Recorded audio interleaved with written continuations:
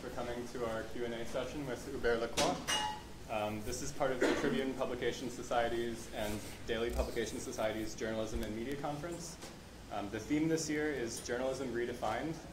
How did we get here and where do we go now? Um, the conference is sponsored by uh, Montreal Press Club, uh, Media at McGill, Café Le Mosaïque, and David's Tea.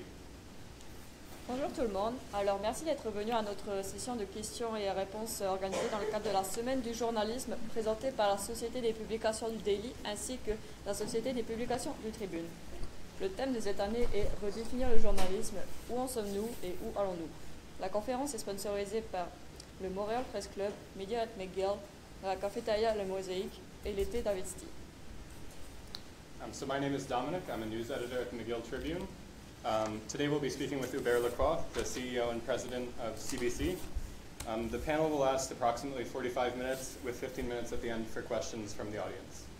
Donc, euh, je m'appelle Margot et je suis directrice de la section actualité pour euh, le seul journal francophone de l'université McGill, euh, le Delhi.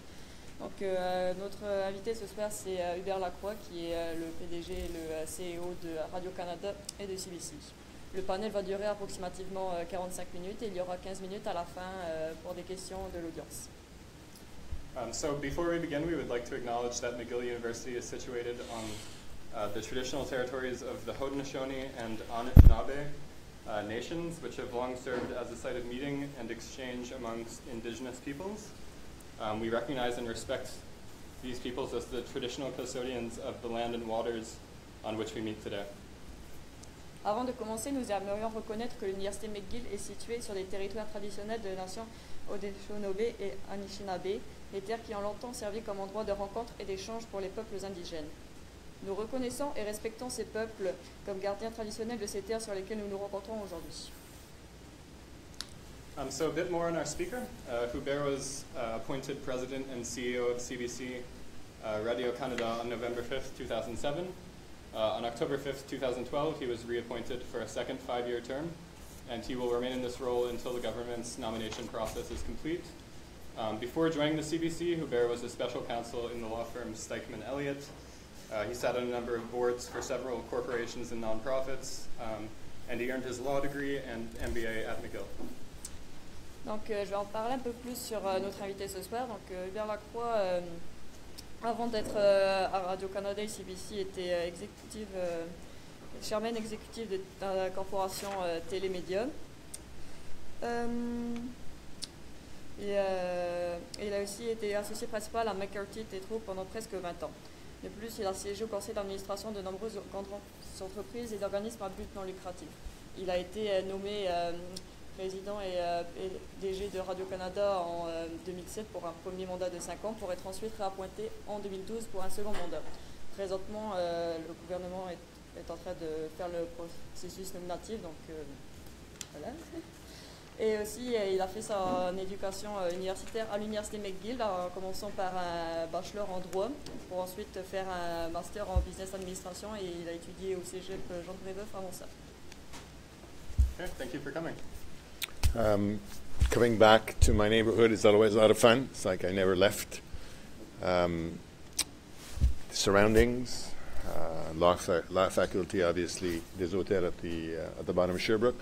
But also, what was most important, my most important link with McGill, is I was the head basketball coach here of the women's basketball program for 10 years. So um, my fondest memories are the Sir Arthur Currie gym and the number of hours we spent from about September 15th every year to March 15th running our basketball program. So um, you'll hear more about that, I'm sure, as we go along. So thanks for inviting me. Um, so tell us more about your time at McGill. So came out of Brébeuf, uh, kid, 18 years old, into directly law school. That was a mistake when you look back on uh, on my choice. Seriously, um, you're 18 years old. Uh, the average of the average age of um, of the classroom is about 25, 26. Uh, the major concern, I well, you know, you're having classes on constitutional law and family law, and leases and custody battles. And my major concern was trying to get the keys from my father and mother uh, to get the car on Saturday night to take my date to a movie. So, you know, the, the, uh, the environment in which I am is kind of different. Did that, graduated from law, uh, started working right away. And then uh, after, when my law firm, it was called O'Brien Hall and Saunders at that time, merged, I came back to school. I was the head basketball coach at that time at McGill. I was also the provincial basketball coach, ran the women's program there. I was involved with basketball. I mean, 50% of my life was basketball. And that's why I chose to do the MBA here, so I could continue coaching my team. Did that, uh, graduated with the MBA, decided I had investment banking offers and I had law. Didn't think I knew anything about law after three years of law, so I continued in law. Went to a firm called Clarkson Tetreault, which merged. I was very involved in the merger of that firm. I was involved in the management of my firm. Uh, and then st- spent 20 years there. And on Jan 1, 2000, I decided to leave that and to join Telemedia Corp, my, one of my clients at that time. Telemedia Corp is the private holding company of a family, a very important uh, French Canadian family called les de Gaspé Beaubien. Monsieur de Gaspé Beaubien was the mayor of Expo 67. He's the guy that put together the actual exposition. Nobody in this room was born in 1967. That's okay. Uh, but there was a very important, uh, well, that's why you see uh, the islands and, you know, la boule de, du pavillon des États-Unis and uh, the casino, and that's where the the, uh, the race is run every year on Circuit du Villeneuve. That's because of what Monsieur de Gaspé Beaubien did. So I went there, managed their corporation for five years. Then the kids who I was, the kids who were 50, 40 something, 35 and 30, decided that they loved each other very much, but didn't want to work together. So we undid what we had built. Uh, we gave the assets away. We sold some assets. We sold, at that time, uh, Telemedia had 21 radio stations when I came in. We had 82 radio stations when I exited. We were with CBC at that time, CBC Radio Canada, the largest private um, uh, radio company. We had, we were literally, we were trying to build a great Canadian radio company. So we sold 50% of our assets to Astral, uh, Astral, and then to the Slaight family in Toronto. Astral then bought all of the stations that we had sold to Slaight, and then Bell bought all of the assets that, frankly, we had sold to both companies. So now all of these 80 some radio stations that were uh, telemedia stations ended up in the hands of Bell. Um, and then uh, from there, uh, in 2005, people asked me to put my name in for CBC Radio Canada's top job. I said no. They came back to me in 2007. I said no again, twice. In, then the third time, I said, all right, I'll put my name down, but this is only a political job, and I'm not interested in politics. I'm not a political person. I have no political color. Um, and I thought that the only thing that you did as president and CEO of CBC Radio Canada was basically handle the relationship with the government. And I was not interested in that at all. I thought I, had, I wanted to actually impact the job in the corporation I worked for and led. So the headhunter said, no, try, and you won't see a, and as soon as you see an elected official in the hiring process, you can leave. And I got, got conned into continuing on and didn't see a, an MP until the minister, when I was, they decided that it, all sorts of interviews. Actually, I should tell you about this. So you get, you get to a first interview, it's pretty funny, uh, with the chairman and some, some, um, some bureaucrat from Ottawa. Bureaucrat in a nice way, because every time you use the word bureaucrat, people think of a person who is slow, doesn't work very hard, and you have this vision of a bureaucrat. My vision of bureaucrats is completely different. They work their butts off. They are very, very good at what they do, and they actually care about the country. So, uh, so this guy and my chairman at that time interview me. Then I'm brought into a second interview, and literally, like in school, it's a it's an open book exam. It's three hours in Ottawa. The person comes in, clicks her watch.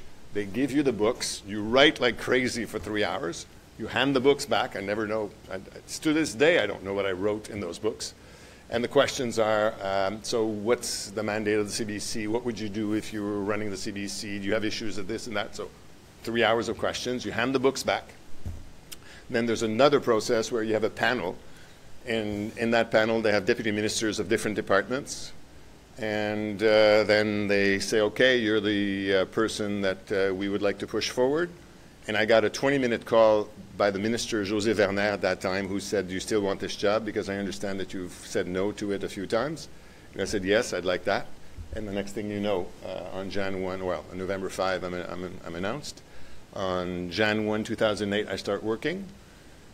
My mandate has ended uh, after two terms. I'm not supposed to be talking to you as the president and CEO of CBC Radio Canada right now because my mandate ended December 31. On December 20th, the government said, Lacroix, we have issues trying to find a person to replace you. Would you stay on until we do? And there's no way in the world that after having worked for 10 years that I'm going to give this, this extraordinary corporation to an empty chair. So I'm staying in this job until they find somebody. The chairman made the same commitment. And uh, we hope that um, they reopen the job. They made more, they did more interviews. And we hope that in the next weeks, um, somebody is going to be selected and take over my job. So in a nutshell, that's how I got from Brébeuf to McGill Law, to McGill MBA, to uh, the gym, to here. Alors, euh, est-ce qu'il y a des aspects euh, du droit que vous retrouvez dans le monde des médias Les aspects du droit, Des aspects euh, juridiques la discipline, puis oui, évidemment, euh, il y a toutes sortes de, de- Si j'avais été un meilleur étudiant en droit constitutionnel, quand j'étais à, à la faculté de droit, je serais un meilleur euh, président et chef de direction. Au moins, j'aurais été meilleur dans mes premiers jours. Parce que comprendre la distinction entre le cabinet du premier ministre, le greffier du conseil privé, les relations entre les membres qui sont élus, la bureaucratie qui est à encore une fois, la bureaucratie avec un, grand B, et le rôle que nous, on joue, ça aurait été beaucoup plus facile pour moi de le comprendre. Évidemment, on le comprend à la fin d'y avoir passé dix ans de notre vie. Euh, il y a toutes sortes de contrats commerciaux. Euh, c'est moi, par exemple, qui ai été au centre de la négociation des Olympiques pour la couverture de, par Bell, par Rogers et par CBC Radio-Canada de ce que vous avez vu, j'espère, pendant 17 jours. Bien, vous avez vu que les trois broadcasters travaillent ensemble. Alors, cette entente-là, c'est moi qui l'ai négociée avec euh, George Cope puis à ce moment-là Nadia Mohamed qui était chez Rogers, puis maintenant avec euh, Guy Lawrence qui l'a suivi. Alors oui, il y a toutes sortes de choses qu'on fait qui nous préparent pour ça, mais qui nous préparent jamais pour la job de président de CBC Radio-Canada. C'est impossible d'être prêt pour une job comme celle-là. Um, do you think that as a public broadcaster, CBC has a special uh, niche role in Canadian media?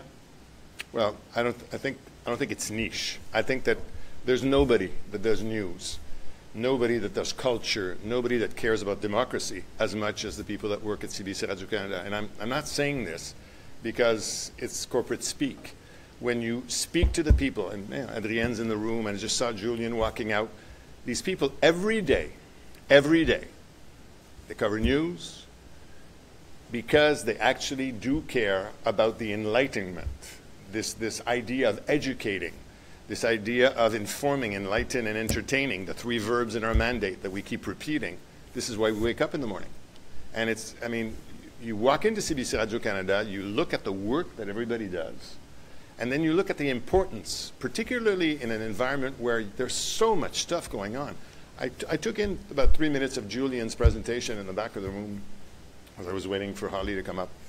And I saw the, um, the issue with fake news. I saw some of the statements made by Trump. I saw all these things.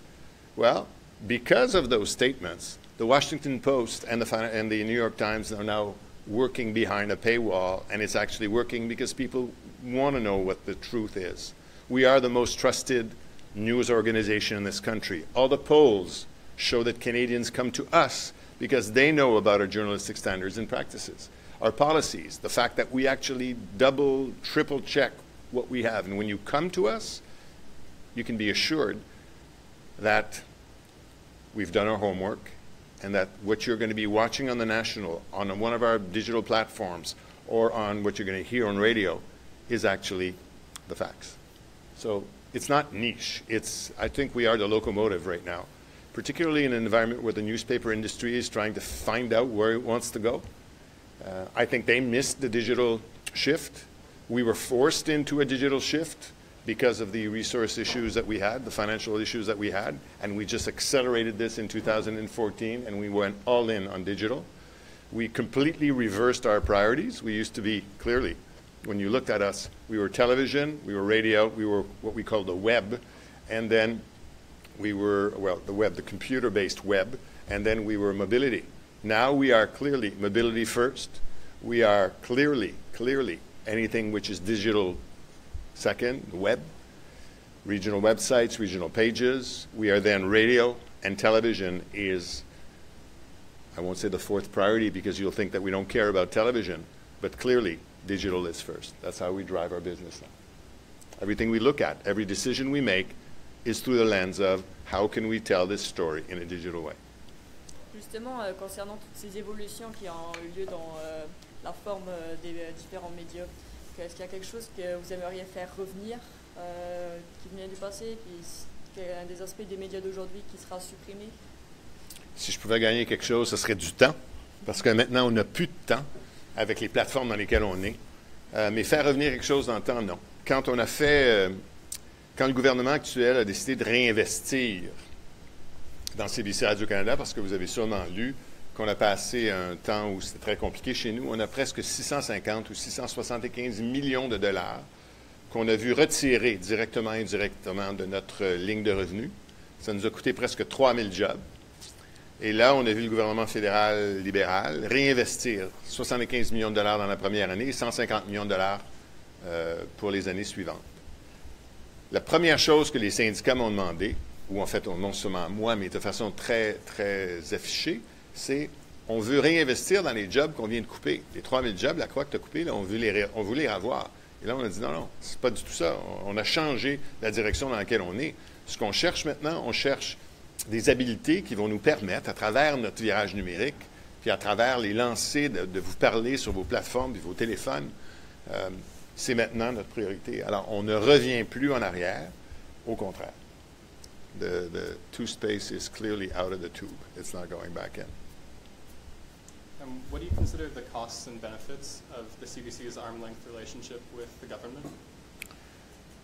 You, I mean, we are clearly a public broadcaster. We are not a state broadcaster. And this dance that we play with the government is very important for people to understand the relationship that we have. There's an arm's length relationship which is, on on va parler de droit deux minutes, clearly entrenched in all of the legislation. The Broadcasting Act, the Financial Administration Act clearly say that we do not have to share our corporate, our corporate direction, our strategy. Nobody approves the direction in which we are going. I'll give you a couple of examples. When the government of the time in 2012, or two, yeah, 2012, started what they called the Deficit Reduction Action Plan, the famous DRAP, Conservative Party took out in one swoop 115 million bucks out of our budget. Nobody in government could actually tell us where that 115 million dollars was going to be taken out of. They couldn't say, we want you to cut down this program or that platform or three stations. That's all us. What I did when I showed it in front of the Treasury Board is I informed them of the decisions that we took based on our best judgment as a senior management team, as a board of directors of CBC Radio Canada. This is what we thought we could do and the choices we could make. In the same way that when Mélanie Joly and her group invested all of these 675 million bucks over five years, when she came and she said, all right, um, here are the dollars, at the beginning, it's really difficult for the government to, particularly a new government, to understand that they can't direct where those, where those dollars are going to go.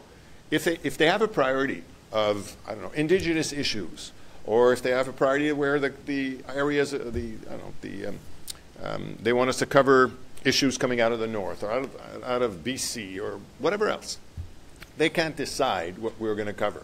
They can't decide where the dollars are coming back. So it took us a year to come to a conclusion and an understanding that they could give us the dollars, thank you very much, and that we would make ourselves very accountable. Because if there's one thing we do pretty, actually pretty good, we do this extremely well, is we'll tell you where your dollars go.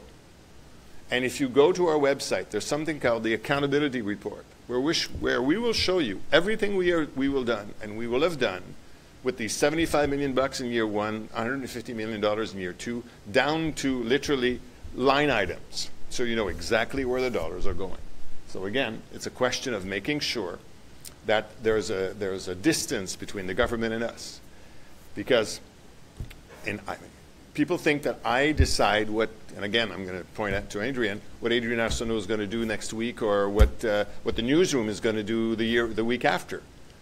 I've never, never picked up the phone to speak to Jennifer McGuire, who is the editor-in-chief on Anglais, and to Michel Cormier in French to influence anything coming out of the newsroom. There's a wall between me and the newsroom. There's a wall between me and programming schedules. Because you cannot do indirectly what you can't do directly, meaning that because I'm appointed by the government, there's the only way for me to get my job is the Prime Minister has to sign the Order in Council and then the Governor General has to sign the Order in Council. That's the only way for you to get my job. Because of that, you can't indirectly, because they can't phone, the minister can't phone the newsroom, they can't use me to influence the newsroom, and they can't influence, they can't use the uh, director on our board to go influence the newsroom either. C'est complètement hermétique. Et ça, c'est super important de comprendre cette relation distance-là entre le broadcaster et nous. And I've, I've, I mean, I've had some issues with governments over 10 years, but I have never had an issue with a person in government not understanding that they can't influence our newsroom. That's, that's never happened. Et comment est-ce que ça a évolué après le Bill C-60 Ah oui, le Bill C-60, ça c'est un très bon exemple. So government at one point in time runs a, um, or decides that it's going to introduce this bill, Bill C-60. It was about four, maybe four or five years ago, where they wanted to introduce in the relationship between an employer and an employee, they wanted to introduce the government as a, I'll call them a voyeur, but it's not supposed to be a voyeur, as an, an interested bystander at the table of the, at the negotiation table. And we said, this is absolutely nuts. I mean, I mean, we're dealing with the unions, and imagine I'm going to have a person from government standing right there and you don't think that the union person is going to be speaking to the government person instead of me, that doesn't work. So we were very adamant and very, very clear. On était très, très, euh, très clair dans notre, euh, parce que la question est en français, euh, très clair dans notre, dans notre façon pas d'interpréter, mais de repousser le gouvernement. On s'est présenté avec une lettre qui était très dure. Et ça, c'était un exemple de la distance qui nous sépare entre le gouvernement et le broadcaster. Jamais il m'est venu dans l'idée de dire, bon, mais parce que ça va faire de la peine à Flaherty ou à Clement, euh, je ne déposerai pas ma lettre et euh, m'inscrivant en faux contre l'idée du gouvernement de venir s'ingérer dans nos relations euh, syndicales. That doesn't work. So there's not even a minute of hesitation between that. It's not because Flaherty, or at that time Mr. Flaherty, or Mr. Clement, who is still uh, in his job, well, job, still an elected person. Um, it's not because we're going to be butting heads with them that we're not going to uh, do what we have to do to push back and protect our, our interests. Um, how do you think that uh, CBC's business model uh, is different from other public broadcasters' business models? So we have, uh, I'll tell you that we have a different uh, business model, and I'll tell you right away that it's broken. It's not the 675 million bucks that solve that issue. We are financed this way. On one, let's say, and I'll, I'll just take shortcuts, but on 100% of the top revenue line that we have, about 65% comes from government appropriation. So a check from government, this famous dollar, these famous dollars that the, the federal government improved on by 675 million bucks over over 15 over five years. We also have commercial revenues. Commercial revenues, which would be ad revenues to the tune of about 250 to 275 million dollars a year. That's only television um, uh, revenues, ad revenues from TV. We have, as you know, no ads on radio. And the digital piece is about 35 to 30, 30 to 35 million dollars, so it's insignificant when you look at the 1.6 billion dollars, which is our top line. And it's growing, but it's growing really slowly. It's $35 million more than zero, but that's not much. And just to put things in perspective, uh, $150 million a year for us, people say it's a lot of money, but it's six weeks of payroll. So again, it's, it's, there's a 52 year uh, cycle in a year, a 52 week cycle in a year. So put that in perspective too. So that's the way we are financed. The BBC is financed through, as you know, license fee. It just went up this week, 150 pounds 50 per uh, citizen, per Brit. It's one time zone, and there's close to 70 million of them. In Canada, when you're going to be working and paying taxes, you're going to give us right now $34 per year, per year of your taxes to the public broadcaster. 34 bucks a year. That compares to an average of the 18 most important public broadcasters in the world of about $87 per citizen. We are, of the 18 most important broadcasters in the world, we are ranked number 16 in terms of funding per capita. So when you want us to be compared to the BBC, the BBC is 100 and something, 110 or 112 dollars Canadian, the equivalent. We are funded to the tune of 34 bucks per Canadian. There's 34 million of us, well, 36 million of us, and we work in two official languages across the country. So yeah, the BBC works in different languages, but not in the Mother Corp. It works out of the, the other languages in one of the subsidiaries, which is a commercial company, actually. It's BBC Worldwide, and it's a different, different situation. So, why am I saying that the business model is broken? Because we are not adjusted for inflation, except for salaries, so our costs be going up. Ad revenues, as you know, are going nowhere but south. Google and the other search engines are the ones that are gobbling up all of these ad revenues. So we're in a position where every single year we start the year and we're down 15 to 18 million dollars when you look at inflation adjusted. So we have to make cuts and we have to adjust for that.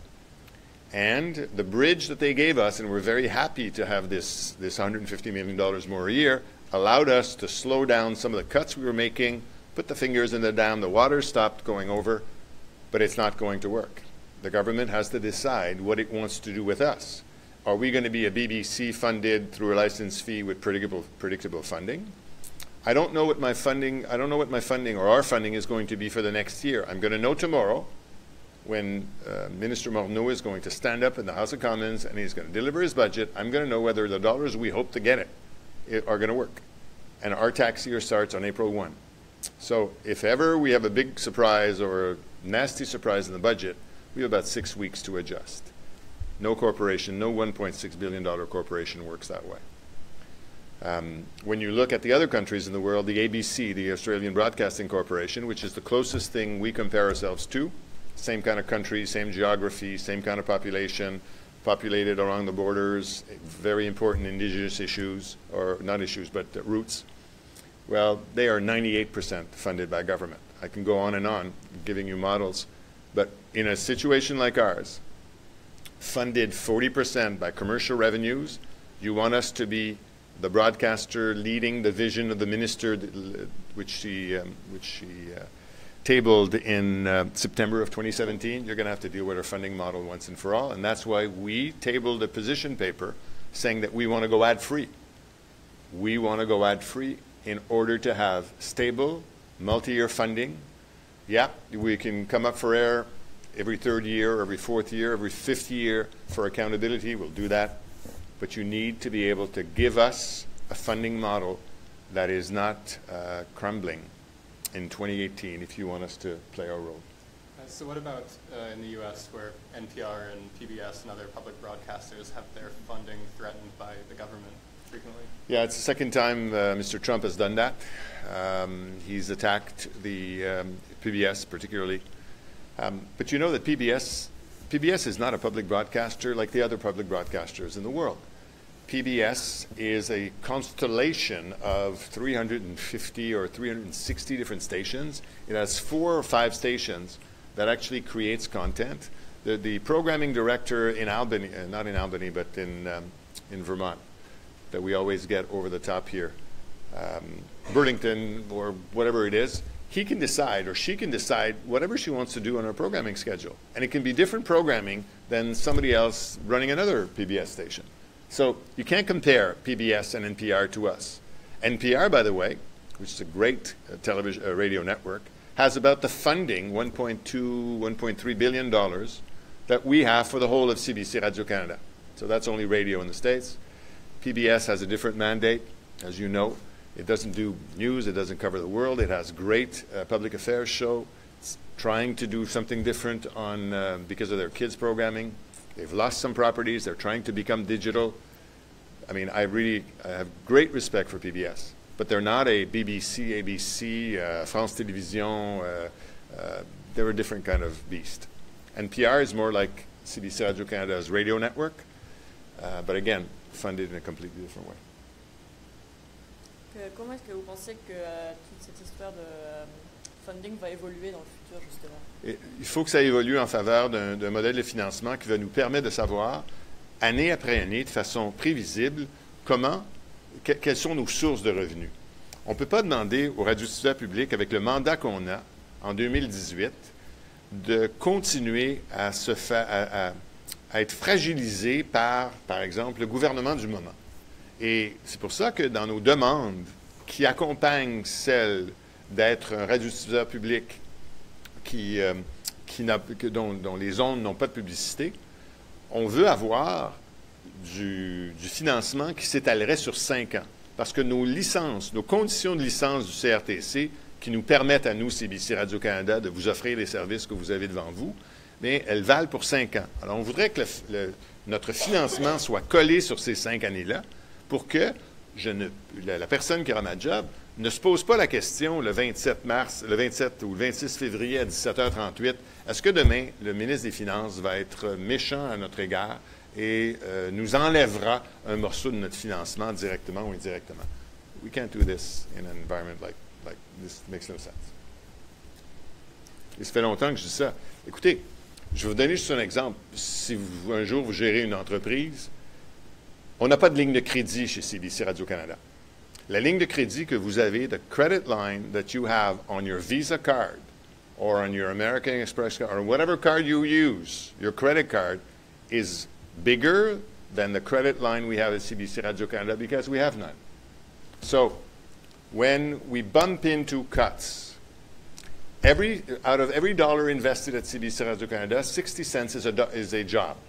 So 60% of our, um, of our expenses are jobs. What do you think happens when we cut a job? There's severance that comes with it.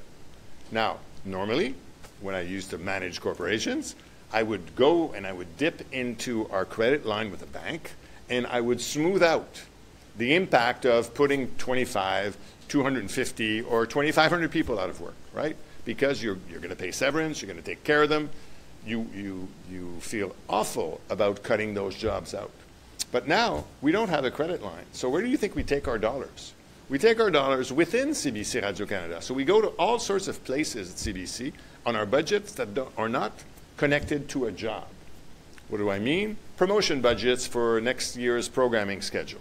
Okay, so let's say that you wanted to spend five million bucks um, um, promoting your Radio Canada or CBC television schedule.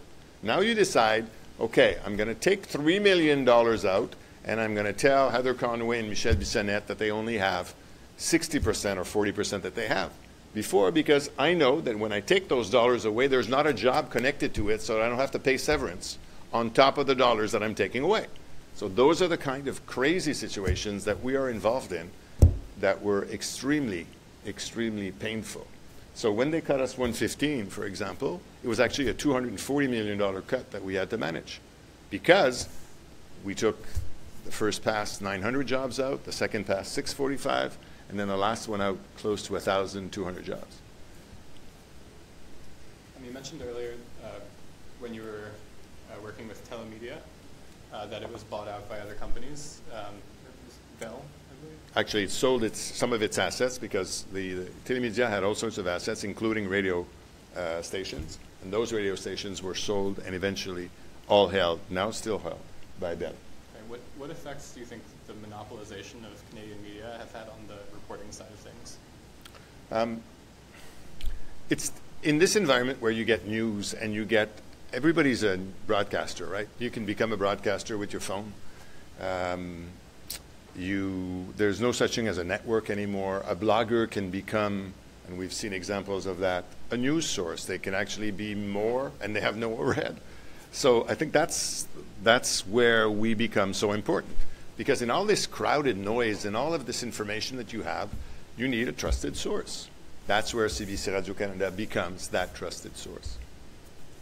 Est-ce que vous pensez que ce monopole va en tirer Well, moi, je uh, there's going to be, if you read uh, Hundrich, who is the chairman of the of um, a very important um, newspaper group in Canada right now, his model is dying. The National Post and its uh, model is dying. So there's going to be some reorgs, but that's, I mean, there's no more horse and buggy right now, and there's all sorts of things that have changed over years, right? I think that's going to be affected. I think they were very slow, these newspapers, at uh, understanding how important digital was. I think in Montreal, La Presse, as I mean, saw it, uh, but if it wasn't for Les Desmarais and the substantial investment of money that they made in La Presse Plus and uh, what you have on your iPad, and the fact that um, they clearly recognized the fact that um, a newspaper handed to you in print on paper was no longer the way to go. Um, I think there's going to be a lot of uh, shaking out in that industry in the very short term. And I know that everybody's expecting Mr. Morneau to come out, and there's a few balloons that have been floated from starting yesterday during the weekend about what kind of funding will come to support the newspapers. I think that will not be enough to save the newspapers, but I think it will be enough for people to make some choices. Um, since you worked at the Telemedia Corporation, um, how has the reporting side of uh, Canadian media changed? Um, it's all about instantaneity. I think you should ask this question again to Adrienne when she comes up in a few minutes. Um, our platforms, I mean, when I came in in 2008, there was no such thing as Instagram, Snapchat, uh, all the platforms that you guys play on every day, that I actually play on every day too. Um, in 2010, the Vancouver Olympic Games, okay? You remember that? There was no iPad. I mean, it's not like two generations ago, it's like eight years ago. So that has changed. I think that, again, l'instantanéité, this, this idea that perspective is really difficult right now when you are fighting this concept that you need to be first with news. And I think that we, we have balanced our, our uh, reporting smartly because I would rather be right than first. And remember, I have no say on what's going on in the two newsrooms, but we talk about values and we talk about the importance of the, uh, the information that we put out. And sometimes, yeah, we screw up. But most of the time, we get it right. Okay, I think we're going to open up uh, questions to the audience. Um, so raise your hand if you have a question. You mentioned uh, CBC sort of prompt, I guess, uh, Loud, please, second, because there's some noise in the back. yeah, sorry. Um, you mentioned of vision shift. Yeah. how they kind of um, preceded the attempts of, of other um, like legacy, legacy newspapers to do the same and try to like, make it into this digital landscape, um, whether or not that's like a, a viable landscape. Um, but do you think that CBC's um, preempting of that visualization has had an impact on papers' um, ability to compete in that market? That's their, that's their position. They're saying that because we are CBC, because we're funded by government, because we can take digital revenues out of our digital news platforms, we are eating their lunch and killing their model. So there was actually a, a, um, a House of Commons committee, the Heritage Committee, looking at this. And when I saw this, this news, or not this news, but this courant, this, this, this idea starting to, um, to be um, uh, to gaining traction, I wrote to this to the chairman Hedy Fry, and I said, "Come on, 35 million bucks. Actually, it was 30 when I wrote the letter. 30 million dollars is the revenue that we have on all of our platforms, en anglais et en français. It's about 21, 22 on, on anglais, and about eight in French. If 30 million bucks makes the whole of that industry collapse, they're in deep shoot. Okay? Makes no sense. The fact is, yeah, we accelerated our, our transition because some of the choices that we had to make. And we made those choices because the financial pressures that we had at that time could not allow us to do what we, do, we did before. We shrunk um, newscasts that we had every, every evening. We went digital 18 hours a day during the weekends. and took out some time and resources from uh, watching um, uh, from, from news. I'll give you an example. Um, Fort McMurray fires. So I, I'm in Vancouver. I go through Edmonton. I stop to thank the team. They've been working their butts off for not 15 or 20 days. The fires have been awful. And uh, so I do a town hall. The union rep stands up and she's crying and uh, she's saying that it's, impos- it's, it's awful, the cuts that I, I impose on that station. Um, and uh, because now they had to rely on Vancouver and Calgary to help out, they could have done this by themselves. And then you listen, you give her a hug because obviously there's a lot of pressure at that time, and then you make her realize that um, she couldn't, and her team could not have delivered the coverage of uh, the Fort McMurray fires by themselves. It was a good thing that Vancouver and Calgary came in to help en français and anglais. The network supported that also. And then you tell her this. On a really good night in Edmonton, the nightly, the nightly news, okay, the 90 minutes that we had there before, now down to 30 minutes, maybe 15,000 people watch. They had 20 million hits on their website.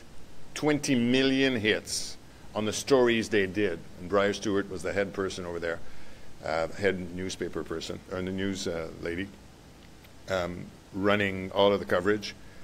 But you realize the importance of reach and the importance of the shift.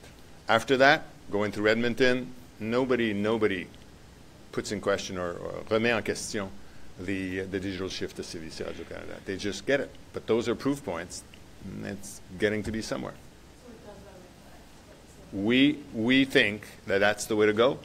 Um, the impact, and I mean, how many people here today picked up a newspaper on the way to uh, your classes this morning? A real new, oh yeah, yeah, a real newspaper. Okay, how many went to your um, to your phones today to get news? Okay, I rest my case. That's that's why. A um, couple of more examples. I know that we're running out. Um, the ABC. Michelle Guthrie has my job in Australia.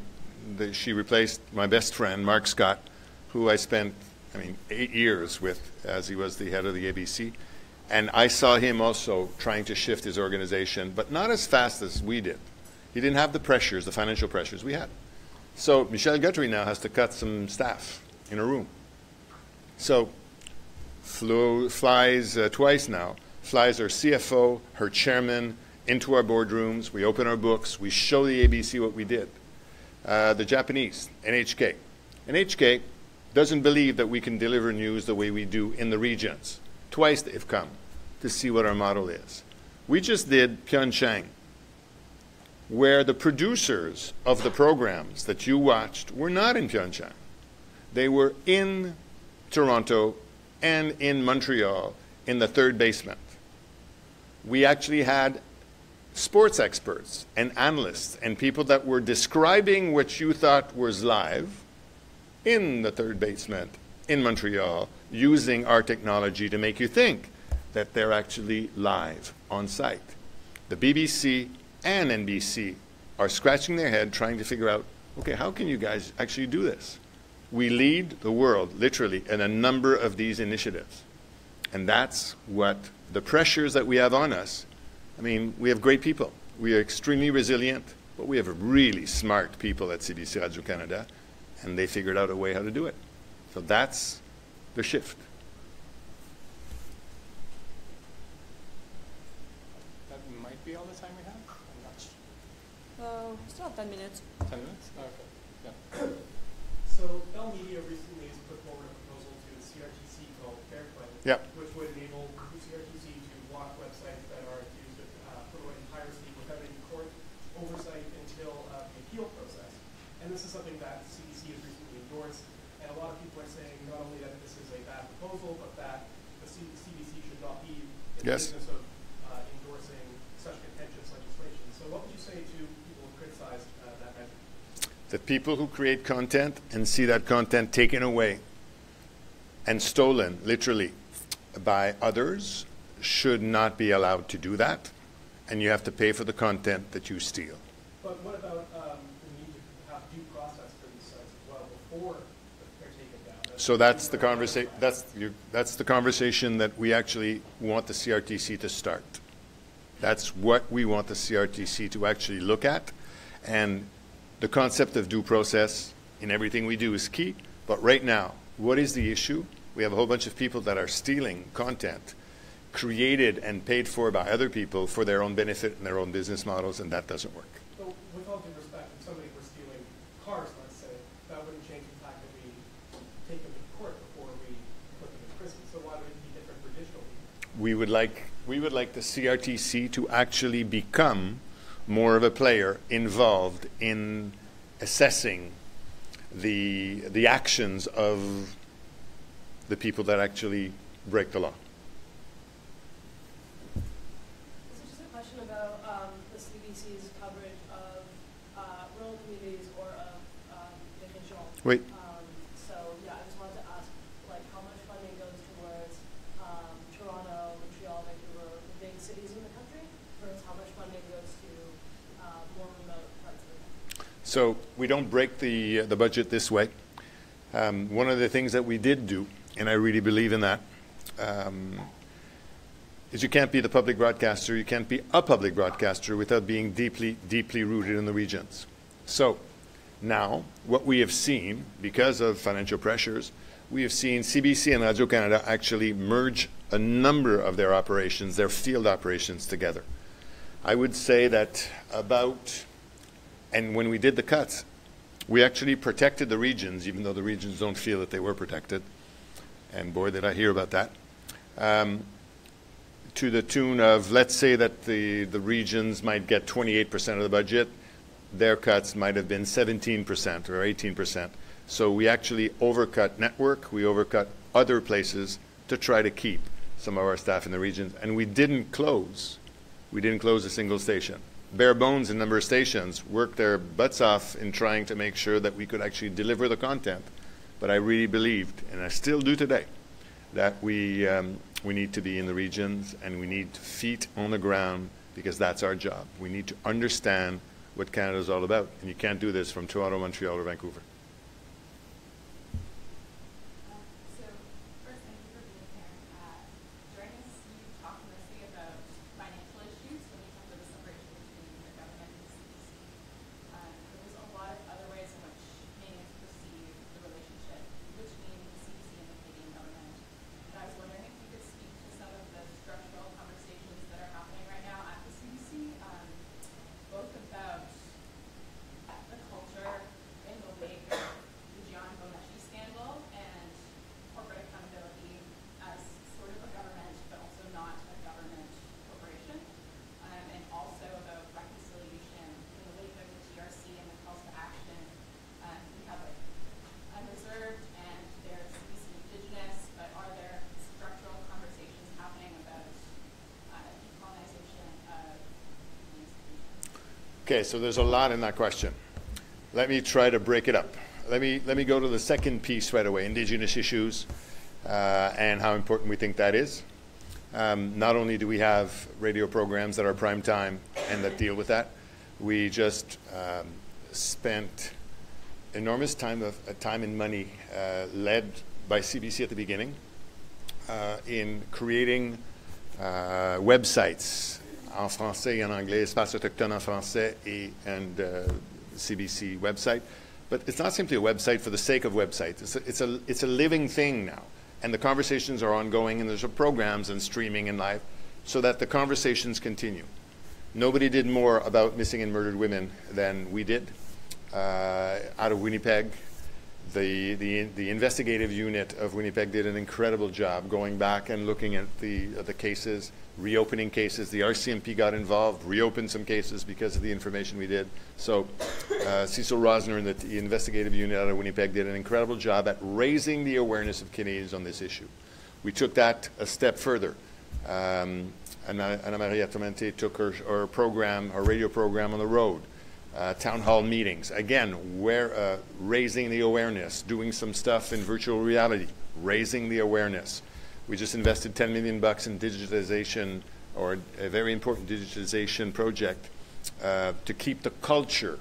And we have some really old um, archives, and we don't want to lose them. So we brought the elders in. We are working at trying to keep that.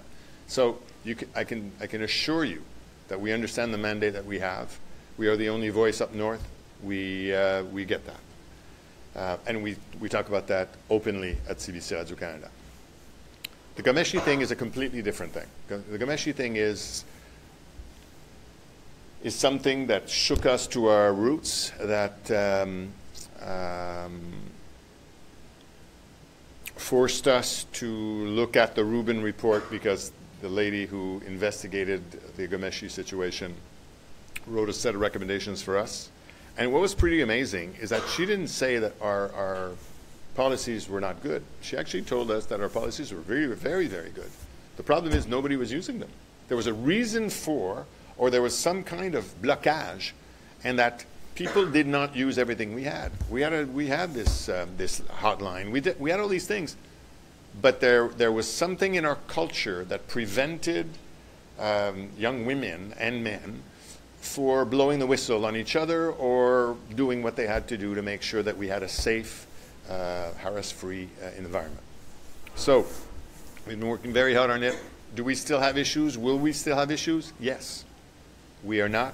Um, we are aware of this, but we're working extremely hard at making sure that we try to create these environments. And on this one, the unions, the CMG, ourselves, the CRC, everybody thinks the same way. There's, uh, there's not us and, and them here. Um, uh, I created a position called the uh, Ethics Commissioner. So that's another place where you can actually go and pick up the phone and have a conversation if you think there's an issue that you will be immediately uh, taken care of. So, yeah, Ghomeshi wasn't fun. Um,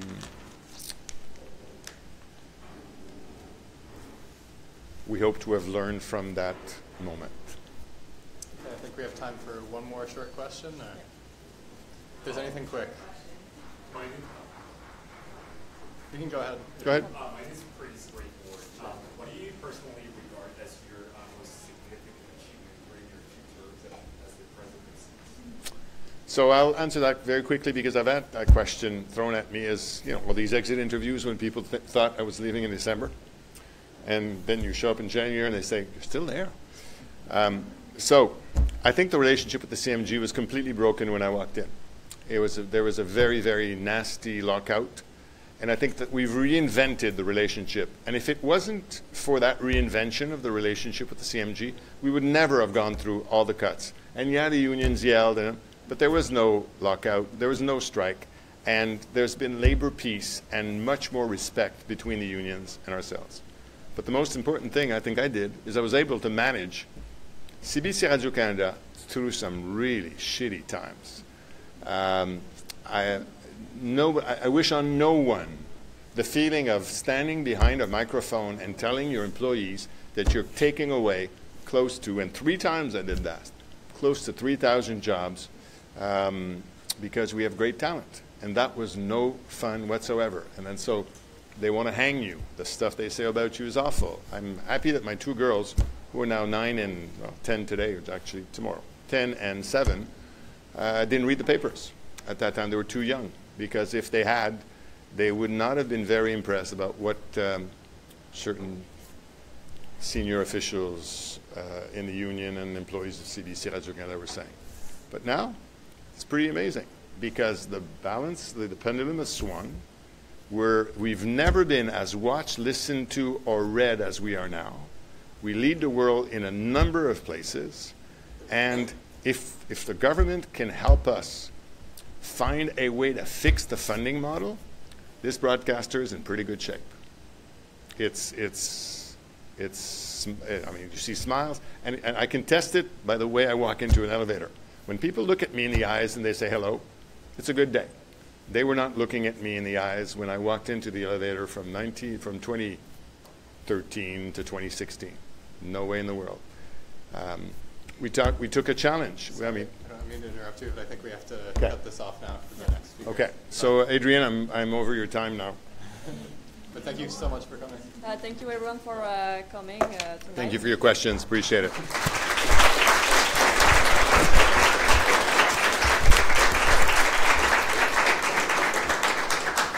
And uh, just to add on quickly, um, we'll have our uh, keynote panel featuring Adrienne Arsenault and Dart Depth uh, right now. And on Wednesday at 8, uh, we'll be holding a meet and greet uh, with uh, our speakers at Gert's. Uh, come join us uh, to meet tonight's speakers and many more. And we will have free food. So, yeah, thank you. Merci beaucoup. Thank you.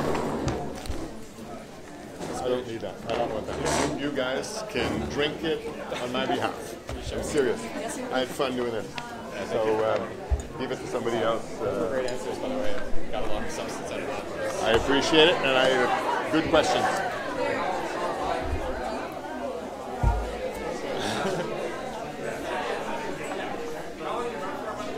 It was kind of weird at one moment because like I was asking a question not in the order, so I was like, You know, because he, 'cause he answered so much in the first one, that I was like, oh. but I think it went well in the end. I hated that introduction. It was just like had to get through it.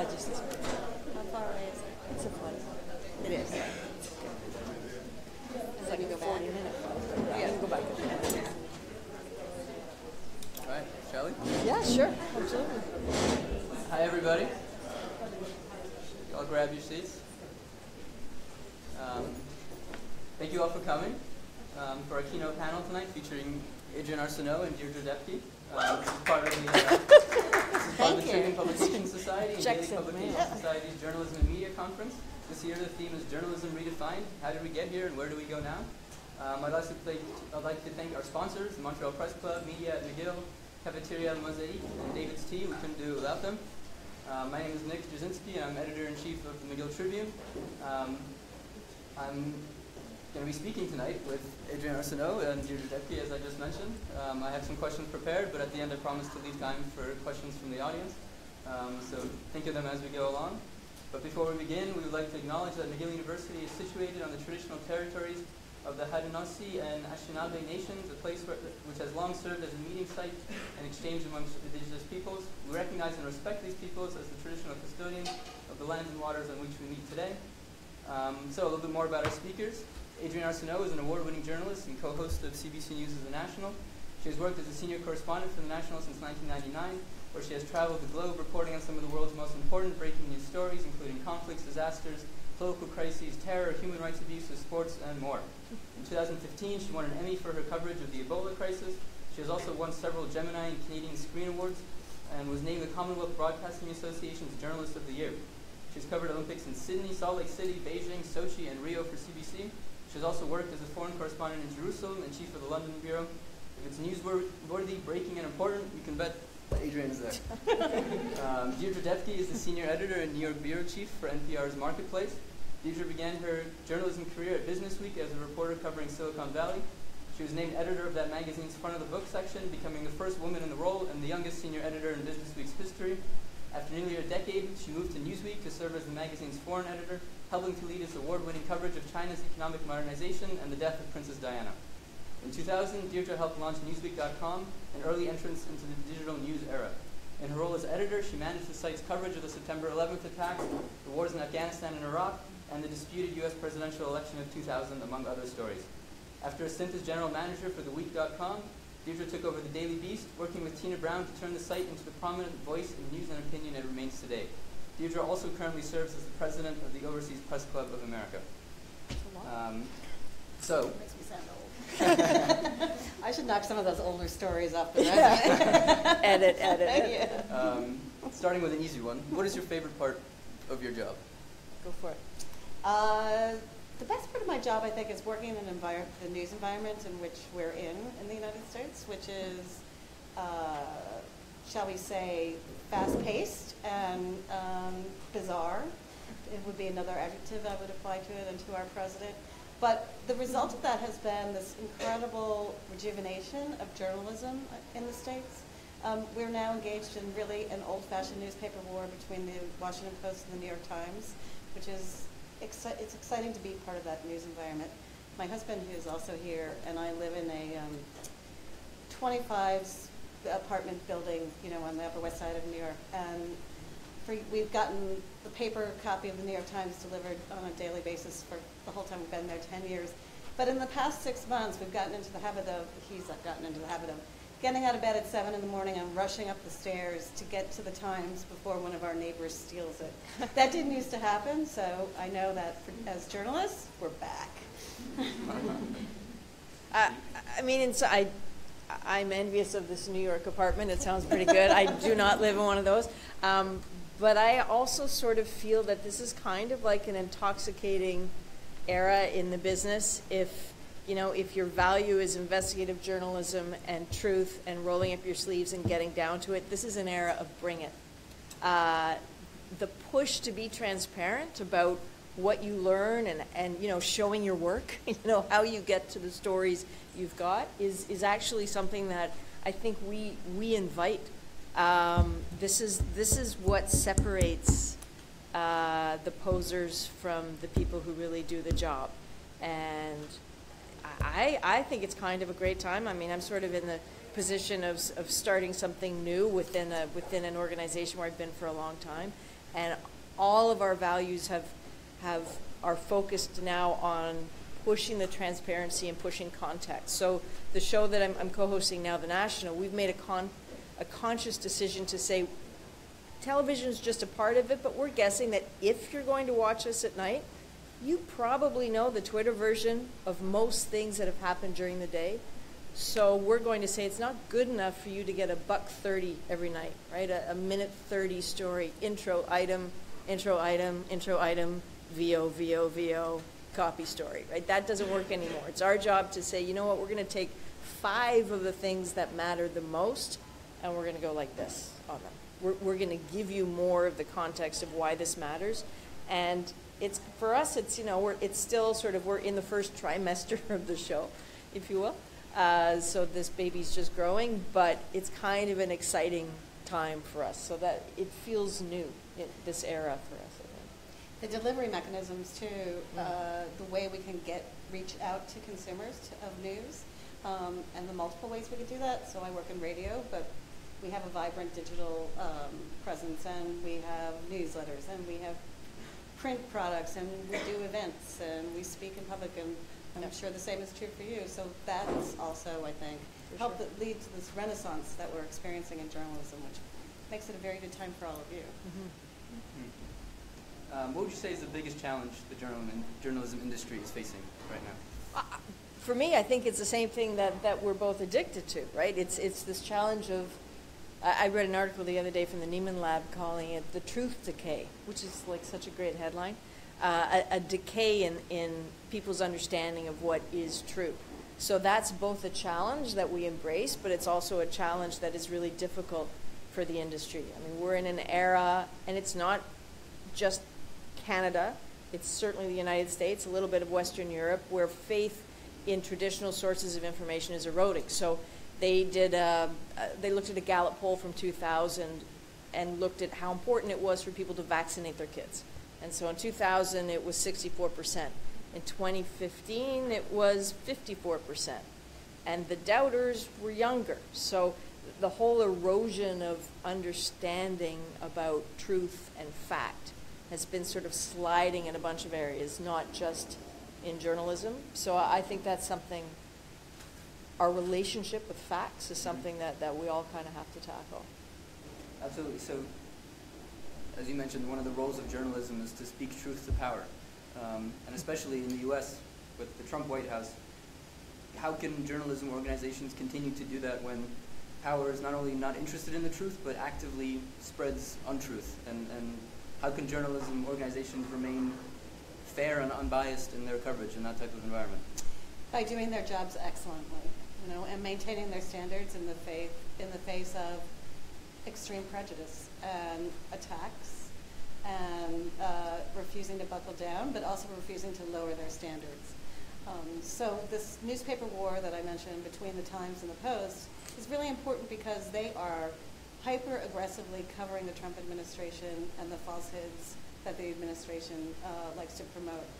And by doing so, they're they're showing, I think, what journalism is really about and how to do the job correctly and uh, speaking truth to power effectively by showing how weak power is and how weak power's messages is a fantastic way to start. I- would, I would just say it's not just something for us to observe as sort of slightly smug neighbors, because you know that happens, right, a little bit.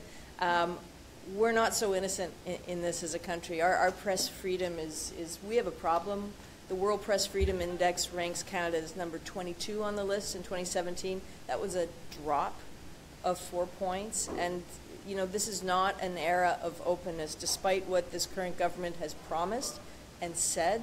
Uh, disclosure rates are down for access to information. Some of the rules are getting tighter. We don't have protections for whistleblowers. And without whistleblowers, uh, democracy would be in big, big trouble. So if we don't want to be complacent uh, as Canadians and as journalists, then we're going to have to fight really hard and get very noisy about protecting the existing press freedoms and, and pushing for more openness because a country like this one uh, probably deserves a lot more openness than it has. In my role as um, at the Overseas Press Club, one of my jobs is to um, engage with journalists from around the world and help them fight the fight this fight as well. Um, and I think that's another important thing that we can all do, which is realize that none of us are working independently, completely independently. We're all working for the betterment of the profession. And in many cases, sadly, we're working to keep uh, our colleagues alive.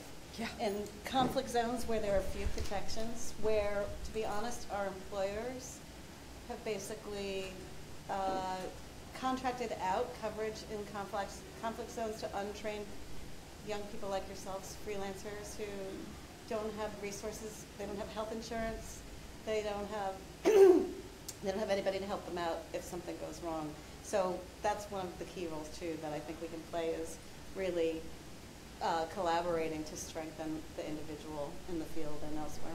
We, I, don't, I don't know, I mean, I'm, I'm sure you followed it, but in, in this province, we had a, a, situation where the police were executing warrants and, and taking the phone records of journalists so that they could find their confidential sources.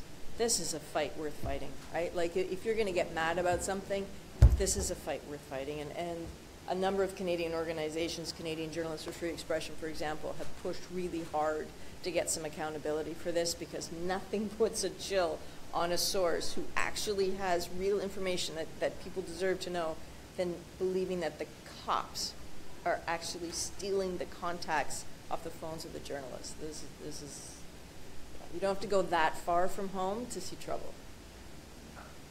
Um, so Adrienne, you mentioned the role of whistleblowers. Um, in recent year, in recent years, the role of online information leaks to websites like Yeah. WikiLeaks and, and other sources um, have received increased attention in the media, both in the U.S. and in Canada.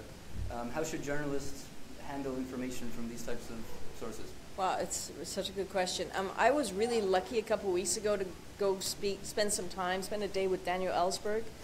Do you know this name? So he was a leaker of the Pentagon Papers.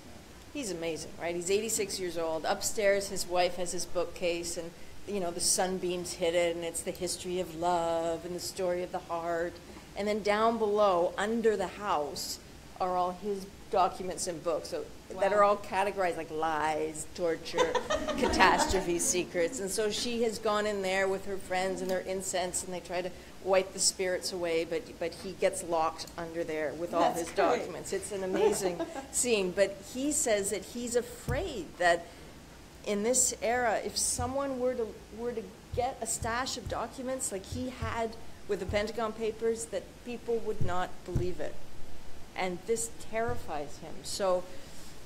Uh, how do you handle it? You handle it with care. You verify, verify, verify. I mean, this is fact checking and verification units used to be the domain of something called Snopes. Basically, Snopes was the only one doing it. Now there's like 150 really credible fact checking organizations, and you better bloody well be right. You know, I think there was an era where you could trust if somebody hands you a document, you sort of trust that it's legit. Um, we can't. Mm-hmm. You can't be sure anymore. You have to be really careful before you publish. And being open to that collaboration Yeah. and working as part of a team is key, I think, in dealing with whistleblowers.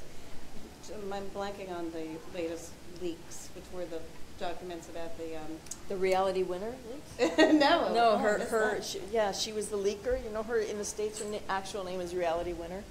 Um, But um, teams, thousands of journalists around the world all collaborated fact-checking. Panama. Panama Papers, Panama right, Papers. thank you. Thousands of journalists around the world collaborated to fact-check those documents and to report on them. And that's a really important lesson, I think, too. Once again, that, you know, none of us really are operating alone. Well, on the collaboration, there's something I think we're all doing in our writing that's a little bit different from before. And I was joking about showing your work, but it is kind of, there is a lot more of that. Here's how we got to this conclusion. So there was a story in the National last night about the uh, Jacob Hoggard from Hedley. And so they broke a story out of the Ottawa Bureau about a woman who came forward saying that she'd had this terrible en- encounter with him. And so the reporter said, Look, she did not go to the police. So how do we know what we know? Well, we know it from a, a few ways. One of them is a medical report. She went to the doctor. Here it is. This is what the doctor said. There was an era, I think, where, where journalists would say, Trust us, we know. Right. It's done, right? Then forget it. So you're only going to trust us if we can show you what we know, and then you can evaluate along with us you know, the, the truth of it. We have to be way more transparent and accountable in, in the mechanism of writing as well. Um, with so many potential stories on the international scene, as head of your newsrooms, how do you choose which stories to highlight to, to viewers, to listeners, to readers? Um, and are there any major stories that you feel aren't adequately covered in the mainstream media today? Well, um, my charge is right now is a little bit narrower in the job that I'm doing, which is we have a, a very specific mandate, which is to raise the economic intelligence of the American public. Um, we think that democracy uh, and accountability is, is increased if people understand the relationship between money and government. So that's what we're working on every day, day after day after day. So we, every story that we do, we ask ourselves this question, um, which is, can, will a story about this topic actually lead to people understanding better how government and how money works? Um, and if we can't say that yes, we can do it within the confines of the show, or it doesn't really matter if they understand. If you know, if we present this information, then um, we move on. I think staying focused on your mission is a key thing. I'm also, this is one of the few places I've worked where, that actually had a mission. I mean, journalists are notoriously bad managers, um, and editors are notoriously bad at communicating leadership strategy. I think uh, this is something that we all have to really improve um, so that we're really, we're all clear about where we're marching along and what we're trying to achieve. Um, and hopefully a new generation of editors will, will be better at that.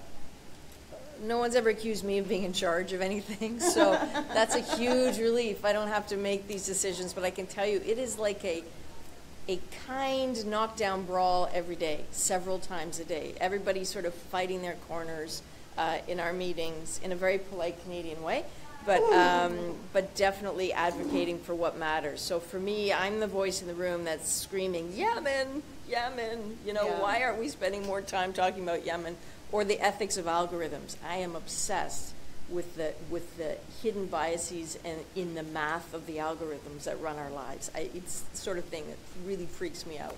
Climate refugees, like dear God, we need to spend more time talking about the massive movement of people across this earth when they simply cannot continue to live where they currently live. So these are the stories that I'll fight for. Rosie Barton in Ottawa. If you've seen Rosie, you know Rosie is a pit bull in heels who will take on hypocrisy and corruption and political, you know, shenanigans like nobody's business. So eh, we all fight our corners, and that's why we cannot be in charge of anything. It would just it would be terrible. On a general basis, I think we need to do a better job of figuring out how to tell the stories of human atrocities in a way that it's not just the, oh, here's the Syria story, the Yemen story, the Myanmar story of the day. You know, you, you what we're doing is by presenting the information the way we have been, it narcotizes the audience a little bit. It's Mhm. like, oh, yeah, it's still going on in Syria. I mean, if you were really, if you spent a minute in Syria, it would be much, you'd have a much different perspective.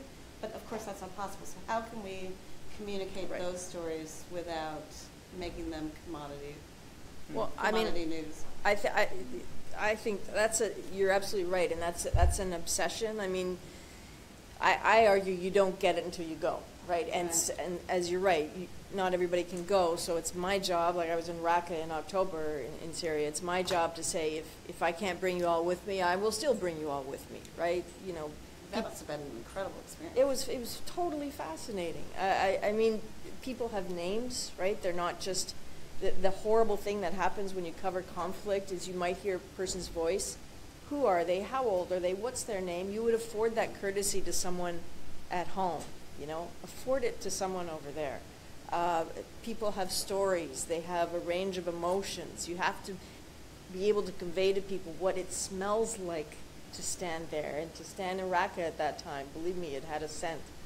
Um, what it sounds like, what the sound of things that are incoming and outgoing. What's the difference between those sounds? If I if I can borrow you, whether it's digitally or or uh, on television, and just for a moment have you feel it, then I think we can help convey these foreign stories and make them not so foreign. I saw an incredible art exhibit last year in New York in which a photographer had taken um, lines of refugees in Syria, I believe, and uh, digitally altered the photos so that they, instead of wearing the dress that they w- were wearing there, they put them in basically clothes that Western Huh. Westerners wear. Uh, so jeans and t-shirts and sweatshirts and hoodies and and it became such a transformative thing to look at that photo and picture yourself and your neighbor rather than a culture halfway around the world that you don't really understand Yep. and what is the you know it just humanized it so we need to somehow do that sort of thing Mhm. So when you cover stories like that that are emotionally difficult, um, how do you deal with the impact your work might have on your well-being? Uh, well, to me, the hardest story that I covered um, with real depth was 9 11. And um, I had a two year old daughter at the time.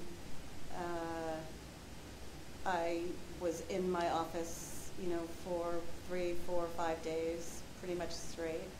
Um, coming home in the middle of the night, changing clothes, going back.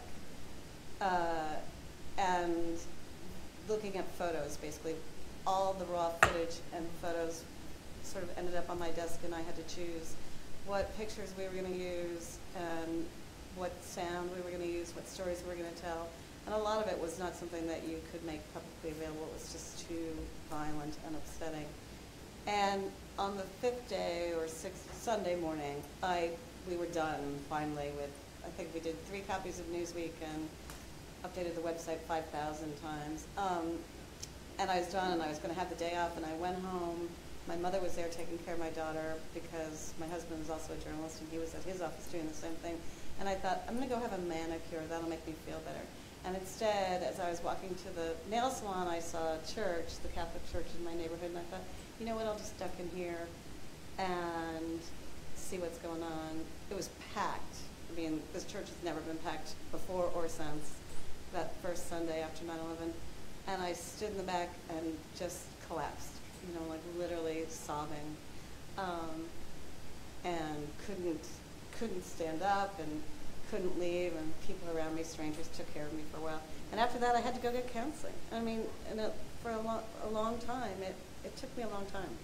I couldn't drive down the new jersey turnpike and look at the skyline without crying. Um, and i think you just have to recognize when that happens to you and you know deal with it in a, a professional and efficient way.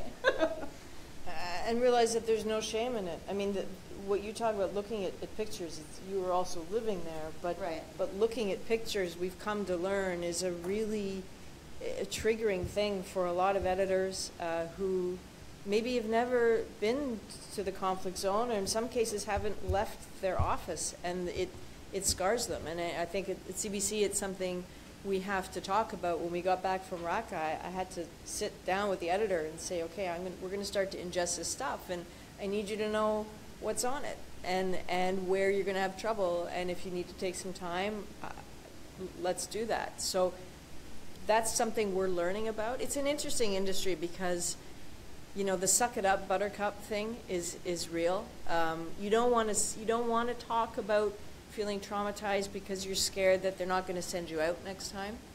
yeah You know, you can say no once, probably not twice. Is is sort of the culture that that we've all grown up in. So um, I didn't talk about that with anyone no, of course not, in, right? my, in the office. I don't even know if I talked about it at home, but um, yeah, and I never would. I mean, no, you you can't. You couldn't. I, I say Mm-mm. can't. I think you probably could now. I don't know. Would you? Well, I don't. Yeah.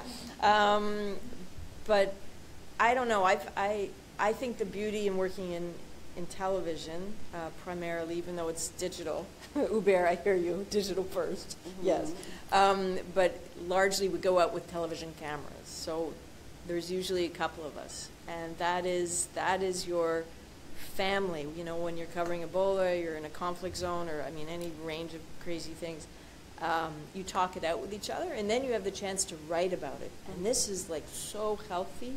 If you have so many platforms, uh, my Insta story and my Twitter story and my Facebook, it's really cleansing. I mean, I, there are lots of old journalists, let's say, people who are in their 80s now who talk about when they would cover like the Vietnam War and they would have one outlet, like one platform, a two minute and 30 second television story, and they had seen so much.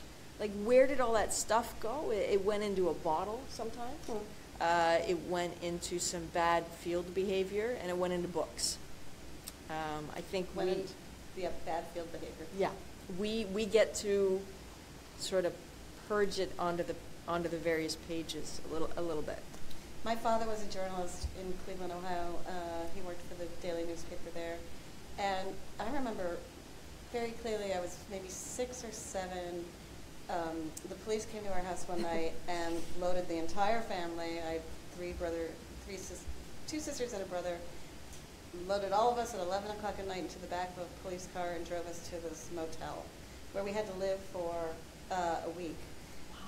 To us, this was exciting because we were living in a motel and it had a pool, and it was the middle of winter in Cleveland, Ohio. But the rea- but the reality was that my father had published a story about the mafia uh, in Cleveland, there was a contract out on him. So all this is, you know, years later, as an adult, I said my father had died, but I said to my mother, "Wasn't Dad scared?" And she said, "I have no idea. He never mentioned it."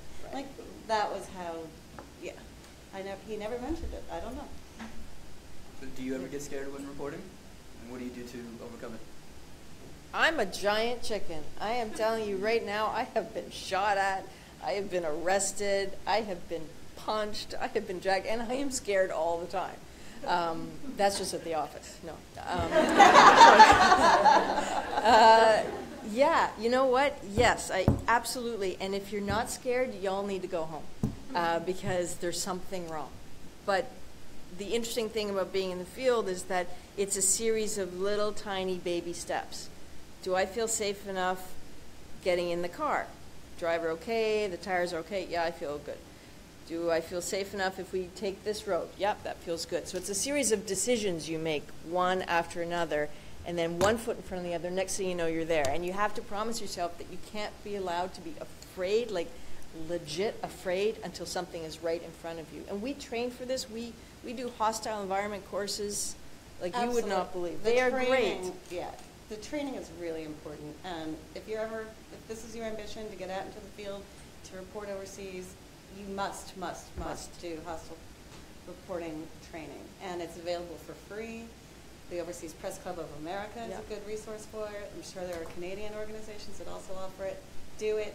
If you don't, you're literally playing Russian roulette with your life, and it's not worth it. And it will tell you something about yourself that you can have a quiet, private conversation with yourself. If you're in a kidnapping scenario at these courses where they literally, you're minding your own business and they put a bag over your head and throw you to the ground and shove you in a car, if if in that scenario situation you have a, that conversation where, where you say to yourself, I know this could be real, and you know what? It's not for me. It's okay, you know, Yeah. like embrace it, take it. You don't have to do that. You don't. You don't have to be that person who who goes there. Um, you know, if you want to find, give voice to people who don't have voices, or, or shed light, you don't have to go far from home to do that. And if you're not comfortable with the idea of somebody throwing a bag over your head and throwing you in a car, you don't have to do it. So these courses are great for like a little Reality check. gut check. Yeah. Um, changing gears a bit, I have some statistics for this one. Um, a 2015 Pew study found that 38% of reporters and writers and 35% of newsroom supervisors were women. Um, a statistic that has shown little improvement since a similar study was conducted in 1994, which found that only 25% of journalism professionals were women. And where's this? Um, that was from Pew. In the states? Yes. Um, so two questions about that. Do you think that the underrepresentation of women in the industry affects news coverage? Um, and do you see a change happening now, maybe alongside the Me Too movement and um, re- related things happening? Well, I work at a, an organization which uh, I'm astonished by this fact. Of eight senior managers, seven are women, and five are women of color. So I happen to work at a company where diversity and gender equity is a, is a priority. On the other hand, I live in New York, and the Times is my primary news source. Uh, and the Times has had one woman as its editor, and they drove her out in 11 months. And you know, that's not an accident. that newsroom was not prepared to deal with uh, female leadership, and they united against her. And I'm sure she had her faults, but you know, most times editors have been uh, tremendous assholes. So the, this woman, there was no way that she topped the um, the treachery that the, her predecessors were engaged in. So, um, do, is it changing? Mm, no, not so much. I mean, but some organizations have a commitment to it, and I think you can find you can find those and uh, be a part of that. Or you can get inside organizations like the Times and work to change them. And someday it will. Yeah. I think CBC, I, I know CBC has a strong commitment. I mean, I'm one of four co-hosts. Uh, two of us are women. Our executive producer is a woman. The chief news editor at CBC is a woman. I mean, we are uh, there. Our, we are loud. We are proud. Um, we are at the table, not sitting in the chairs along the back wall in a, in a boardroom. So uh, underrepresentation of a lot of voices, not just women, has been an issue for all sorts of newsrooms, which Yeah. are still very white, right? They're, they're still very white. This is. I'm kind of surprised to hear that 38% number because Yeah. I feel like it's we're doing better than that Yeah. um, in most major I'm media. suspicious. Show your work. Yeah. Come on. But if you really wanted to get into diversity, it's the whiteness. Yeah. It's so, it's appalling. Yeah. Many newsrooms are just completely white. And uh, there it seems to be less commitment to changing that than there needs to be. Uh, in CBC's defense, I would say there is a massive commitment. Yeah. And, and I think it's reflected not just in staffing, but in active storytelling. Um, no, we're not 100% there yet. No. You'd be goofy to try to, to claim otherwise, but I can tell you the commitment is, is strong, and I, and I see it represented every day. Um, you know, certainly, I know we were talking about the Indigenous unit earlier. I mean, I, if you haven't spent time on the CBC Indigenous site and it's all various platforms, you really should. Because in this country, I mean, Lex and I were talking about this, newspapers don't have, what, what one, there is one, one full-time Indigenous person working at a major Canadian newspaper. according to Maclean's, right? Not good. There are 10 full-time Indigenous reporters at CBC. The CBC Indigenous unit is a huge undertaking. Um, and, you know, March 19th, they are releasing something called Beyond 94, which is supposed to be the definitive digital source, that number, 94, right? 94 recommendations from the Truth and Reconciliation Commission. The digital uh, source for what is this recommendation? What's the status of it? Where, where did it come from? How's it going? So that you can check in. These are sort of, this is something the CBC really believes in, and uh, this unit is one to watch because their investigative journalism is What's the date? March 19th. I want to cover that. That's really interesting. Um, what is your favorite story you've covered? Favorite in a good or a bad? Yeah, good, good. most, most impactful, most uh, important to you personally?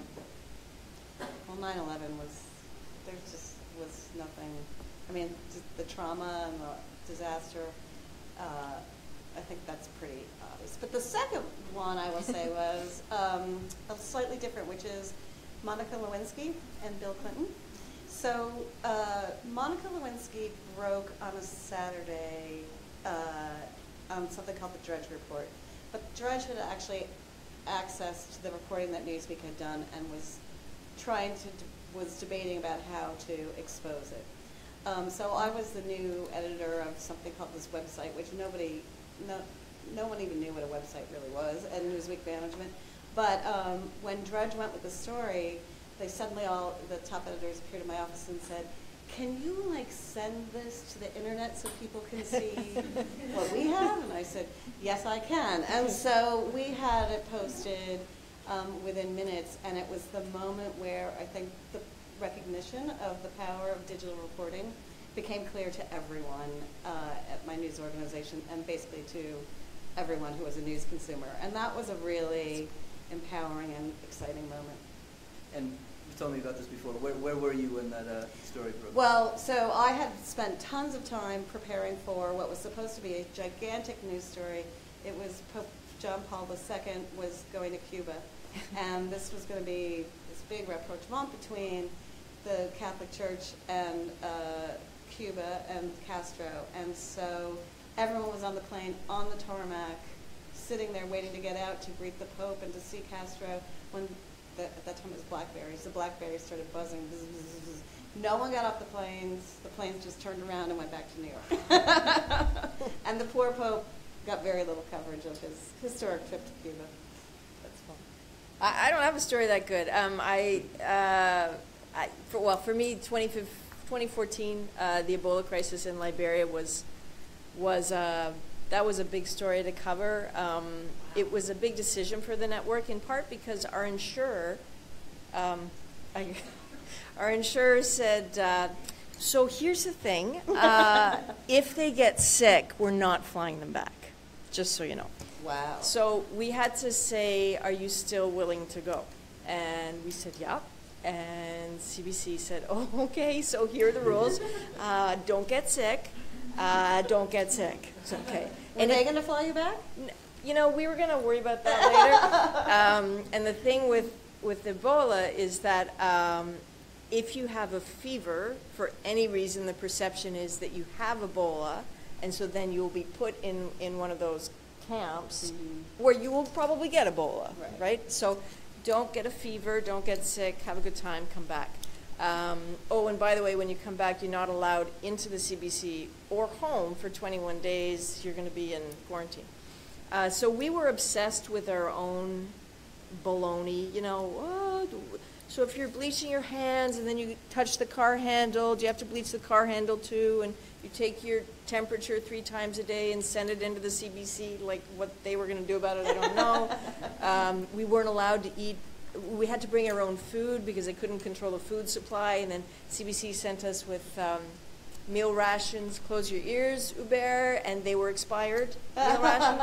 And if you know anything about military rations, they last for like a decade. So these were really old. Oh, that's awful. Um, so there's that kind of stuff, and so you're you're you know you're up in your own head, and then you get there, and you just think I am a horrible human. You know I have all the bleach in the world and all the education in the world about this, and look at these people. You know, so Liberia is this country where people are so loving and and touching each other is so important, and no one was touching. People weren't shaking hands because if you loved somebody enough to sort of wipe the sweat from their brow, Ebola was going to get you next.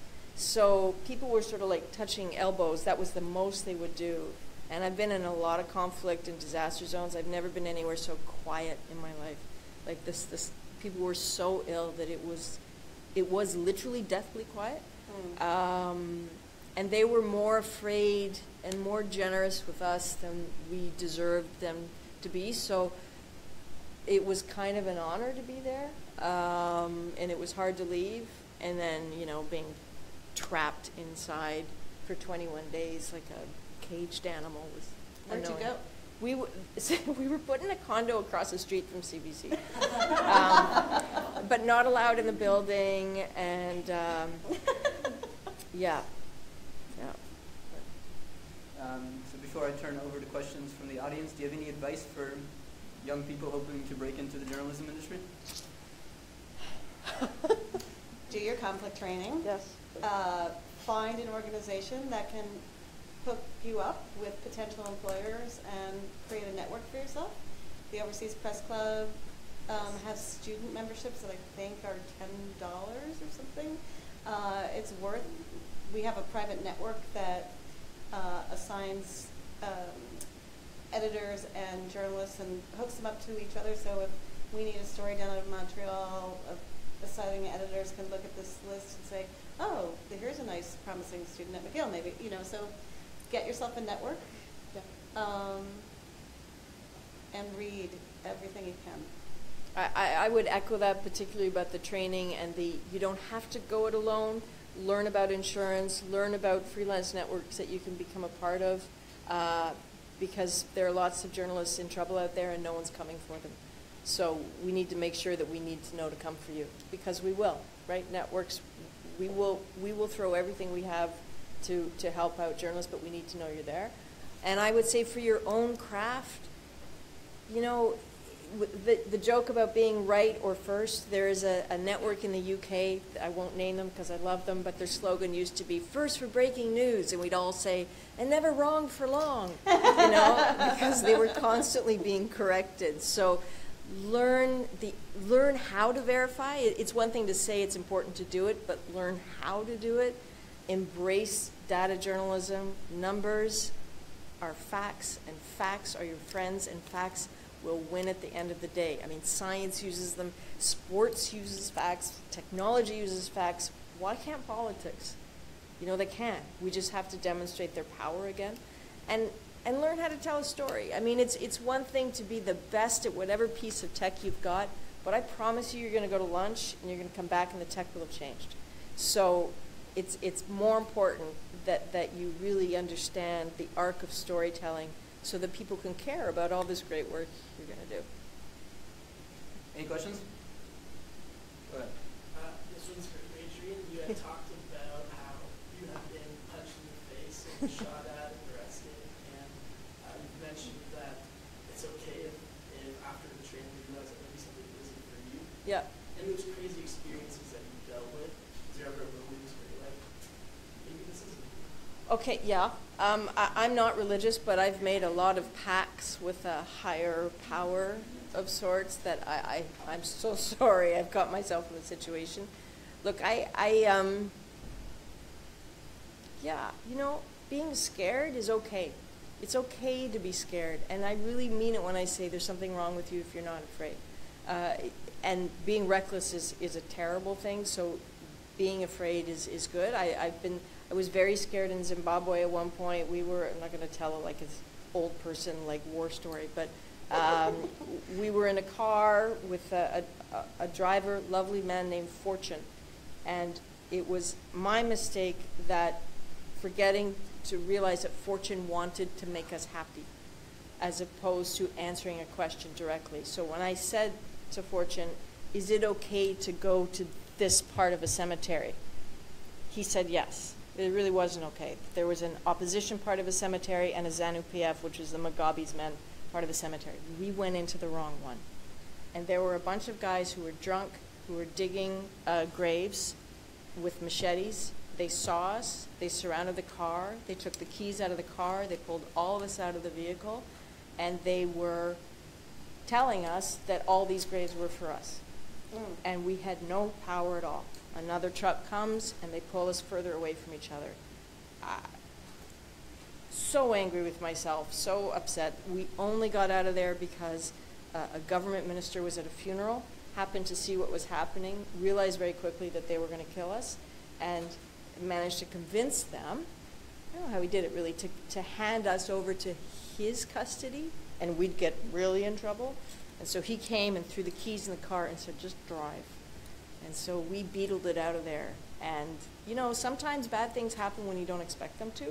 And sometimes when you're really expecting bad things to happen, as in Syria, everything's fine.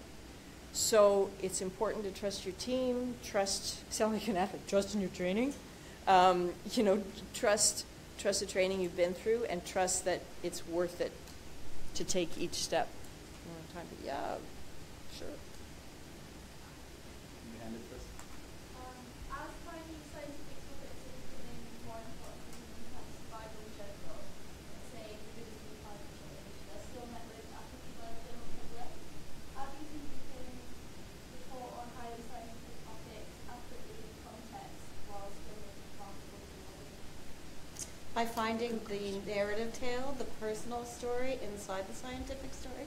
So if um, there was the Times did a great piece the other day about rising floodwaters in South Carolina or something, and how these centuries-old communities are being forced to leave their homes. Um, it was a very effective way of conveying. You know, these are people who've never gone beyond the borders of their state. Um, many of them are African Americans. They've descendants of slaves, and suddenly the water is up to their eaves and they have to move. They have nowhere to go. They have no expectation that they'll be able to recover anything for the rest of their lives. That really, to me, drove home the climate change message. Hmm. So e- everything relatable. Relatable, a narrative, the, the people inside the story. And experiential reporting isn't isn't soft reporting, right? Like Right. like sometimes you will hear people say, "Well, that's a bit featurey," you know, the story about the kid who can't go to school because the rivers flow. It's not, you know, in the right context, in in partnership with the facts, its its function is to be relatable. If somebody wants to call that soft, that's actually their problem. Uh, it- but it's relatable, I think, really matters. Questions? Yeah. You both kind of described your work in the following, uh, terms that kind of resonated with me uh, as like, uh, um, like addictive and um, uh, intoxicating. Um, And I was wondering, I was wondering like where or when did you kind of come across that sort of quality, and is it ever like that, like difficult to have that sort of like Passion. passion? Yeah. Yeah, I mean, you know, you, you get dragged to meetings, three or four meetings in a day, and the passion rapidly loses, leaves the room, you know? Budget meetings and human resources, and, oh, God, we just did this hour and a half training on computer security that had nothing to do with anything. Yeah, uh, but then you get back to the story. And really, I often tell myself, like, what would I rather, is there something I'd rather be doing? And I can't think of a single thing. Except maybe a small independent bookstore in a beach town. That's your weekend. But that'll be, yeah, that'll be for later. I, I think probably, I mean, we've known each other for all of 12 minutes now, but uh, I'm guessing from listening to Deirdre that, that there's a, there's a brain chemistry thing that's similar, which is that um, every, even though it's the same job, same industry, every single day is totally different from the one before. And that is, that's what's kind of intoxicating, is that, you know, the story takes you where it feels like taking you. And if you're in a position to go with it, it is incredible. I Oh, mean, it's so awesome. uh, You, you cannot make this stuff up. I mean, uh, the president may think you can, but you cannot actually make this stuff up. And it is like a total joy to surf it. Um, and it's, uh, yeah, listen, this is, if you guys are, this school is amazing, by the way. You don't have a journalism program, but you have this, this sort of uh, interest and energy around journalism that places you, I think, so far ahead of people who would come to something like this because they're in a journalism Oh, program. completely right. Journalism degrees are ridiculous. I mean, go get one if you want, but make sure you find a cheap one because they're not worth, you know, Columbia, the hundred fifty thousand for the Columbia The Advanced MS, yeah. uh, m- MS. I'll tell you right now, down the street is CUNY, the City University of New York, and it'll cost you twenty-five thousand, and it's much better. But anyway, uh, you know, understanding science or economics or health or literature or political science or history is so much more important to your job as a journalist than, you know, some training that you, you got it in some journalism program. I mean, sometimes it's a passport. You know, like sometimes a journalism degree is like literally a stamp and a passport that gets you in the front door, and that's important, right? And you learn that about ethics and and you know law. That all of that is really important, and sometimes there are other places where you might not get that. So I, I like don't totally toss out the possibility, but the fact that you're here. Um, of your own free will, I presume, uh, says a lot about your futures, I, I, I think. I do a lot of hiring and I look for experience. So if you have internships, if you're writing for the Tribune, I can teach you the other stuff if I, if, you know. I don't hire anybody. We have time for one more question. Go ahead. Yeah, I thought it was really interesting that you were both talking about um, how the, the issue that's being less addressed in workplaces is not about women's equality um, or women's representation or racial representation. That made me think a bit about the conversation about truth to power.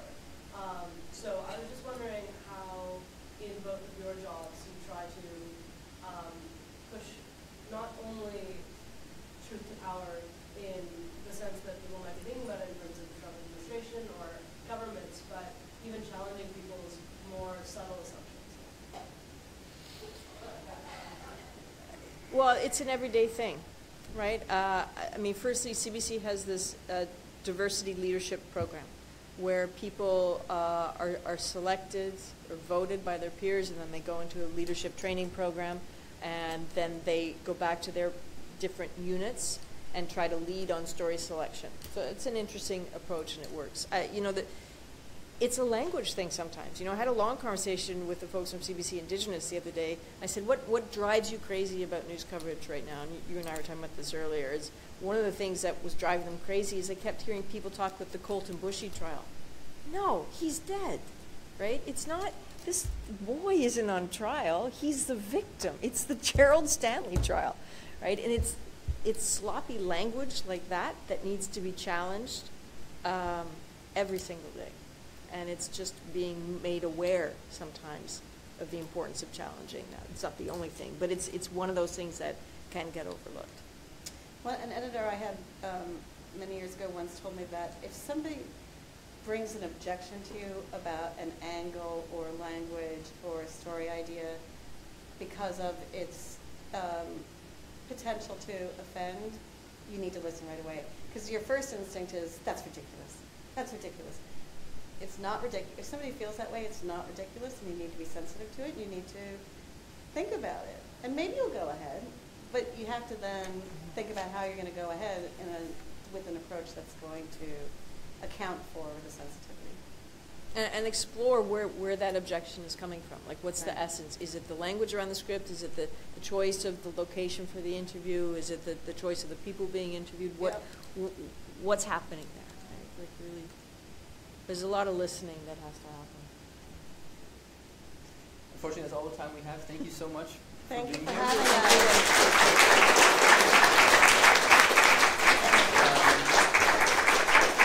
We have two more events tonight, a panel coming up right now about um, activism and reporting, and then a lecture later on about integrity in reporting and bulletproofing stories before sending them out. Um, two more days of the conference as well. Wednesday night, mixer at Gert's starting at 8 o'clock.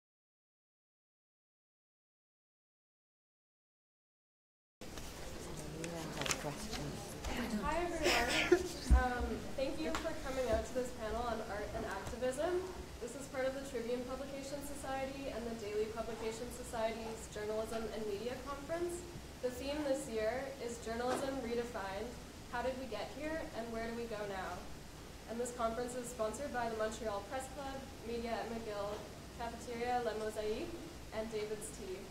My name is Emma, and I'm a managing editor at the McGill Tribune. Today we'll be speaking with Syrus Marcus Ware, Yasmin Jiwani, and Natalie Childs. Um, and this panel will last one hour, and we'll have 15 minutes at the end for questions from the audience. So before we begin, I, we'd like to acknowledge that McGill, Univer- McGill University is situated on the traditional territories of the Haudenosaunee and Anishinaabe nations, a place which has long served as the site of meeting and exchange among indigenous peoples. We recognize and respect these peoples as the traditional custodians of the lands on waters on which we meet today. So now a bit more of information about our speakers. Syrus Marcus Ware is a Vanier scholar, visual artist, activist, curator, and educator. Syrus uses painting, installation, and performance to explore social justice frameworks and black activist culture. His works have been showed widely at galleries, universities, and festivals across Canada. He's part of the Performance Disability Art Collective, um, as well as the Black Triangle Arts Collective, a visual arts collective dedicated to exploring disability and racial and economic justice. Syrus is also co-curator of The Cycle, a two-year um, disability arts performance initiative at the National Arts Center. He is a facilitator and designer at the Banff Center and was the coordinator of the Art Gallery of Ontario's youth program for 12 years. Syrus was the inaugural Daniel Spectrum Artist in Residence in 2016-2017. Syrus is a core team member of Black Lives Matter Toronto. He's also part of Blackness Yes, Blockorama. Presently, he's working on a PhD at York University in the Department of Environmental Studies. Yasmin Jiwani is a full professor in the Department of Communication Studies at Concordia University. She's the author of Discourses of Denial, Mediations of Race, Gender, and Violence, as well as co-editor of Girlhood, Redefining the Limits, and Faces of Violence in the Lives of Girls. Her work has appeared in a wide variety of journals and anthologies. Her research interests include mediations of race, gender, and violence in the press, as well as representations of women of color in popular media. She's currently the Concordia University Research Chair in Intersectionality, Violence, and Resistance. And Natalie Childs is a managing editor of Guts Canadian Feminist magazine. Since 2013, Guts has been a volunteer run online magazine and blog that provides a forum for furthering feminist discourse, criticism, and thought in Canada. Guts publishes essays, reviews, journalism, interviews, fiction, poetry, and new media by new and emerging writers and artists who are underrepresented in the Canadian media landscape. In her day job, Natalie works on a farm in Hemingford, Quebec. So I'm now going to turn it over to the speakers themselves to explain a little bit more about how they got to where they are now and what they do. Syrus, would you like to start? Sure. Uh, my name is Syrus. Uh, hello, everybody. Uh, I'm a visual artist um, and an activist, and I got involved in both art and activism as a child. I was really uh, encouraged by my parents to get uh, involved in art making because I have a lot of artists in my family. Um, so I was lucky that way. Uh, and activism and social justice was sort of built into our family structure. So from a very young age, I was always mixing those two things together. Um, I have, I'm involved in a lot of different things, as you heard from my bio, and primarily the way that I sort of structure my life is that everything kind of feeds into itself. So my art practice explores black activist culture. My activism uses a lot of creative practice and, and art as part of um, its sort of movement building.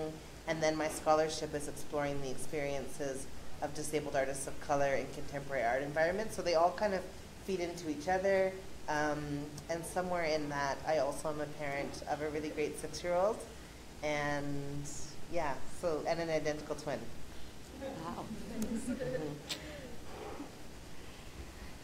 Well, I can't top that. so I'm going to take it somewhere else. How did I get into this? I think that's a that's a really good question, and it's a it's a it's one of the things that is a good entryway into storytelling because this is what it's all about. So this story for me, in terms of my involvement in the press and the interventions that I've done, um, in terms of journalism, actually came about with a lot of the work that I was doing on anti-racism in British Columbia, um, some 30 years ago. So I'm going to date myself. I'm ancient. Um, and at that time, we had an organization called the Committee for Racial Justice, which was also monitoring the media to see how, in fact, the media representations of people of color was feeding into and fueling the kind of racism that people of color were encountering. So that was my first sort of avenue into this work. And then from there, it became a matter of how.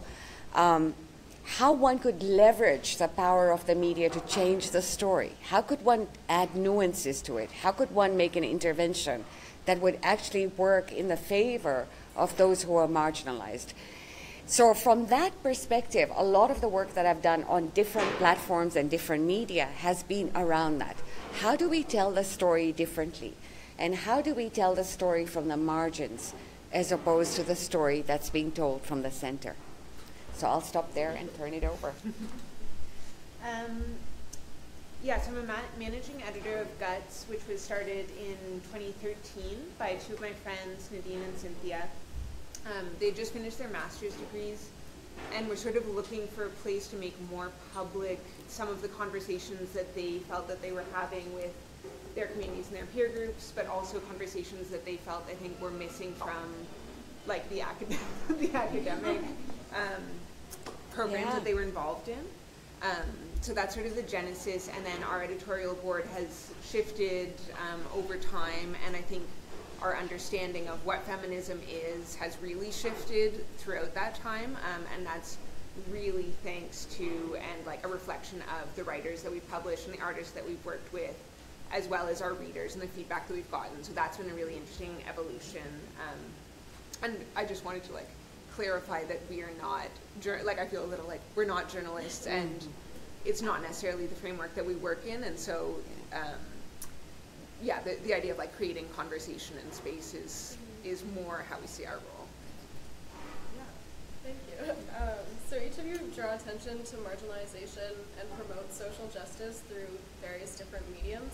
Um, what kinds of social change do you hope to create through your activism, and how do your respective fields um, help you achieve those goals, or how does the platform you use impact your message?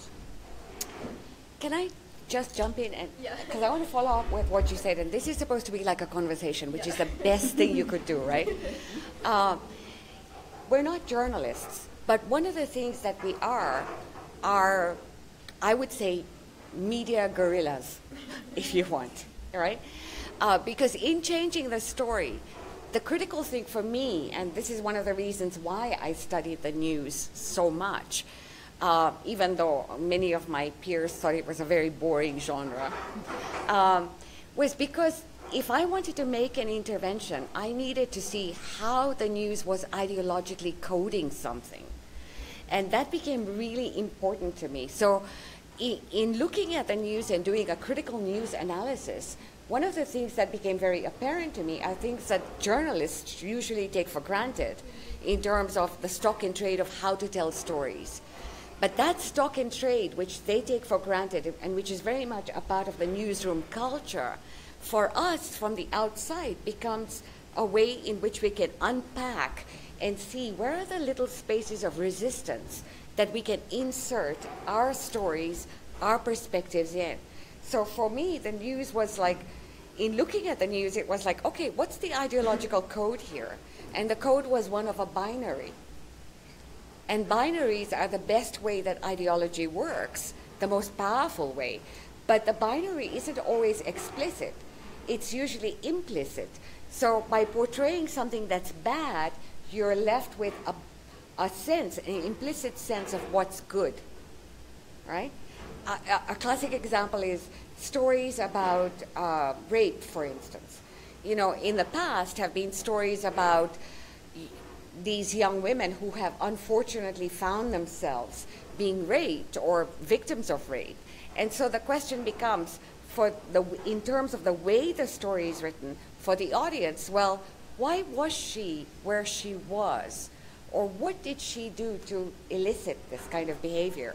So that's the kind of sort of implicit, explicit ways in which that code is working, where we automatically, implicitly know what a good woman does and what a not good woman does. So I wanted to add that to this, to this mix. Yeah, I mean, for for our work with Black Lives Matter Toronto, we've um, used direct action as a way of controlling the news story um, in very powerful ways, I would say, um, by taking, um,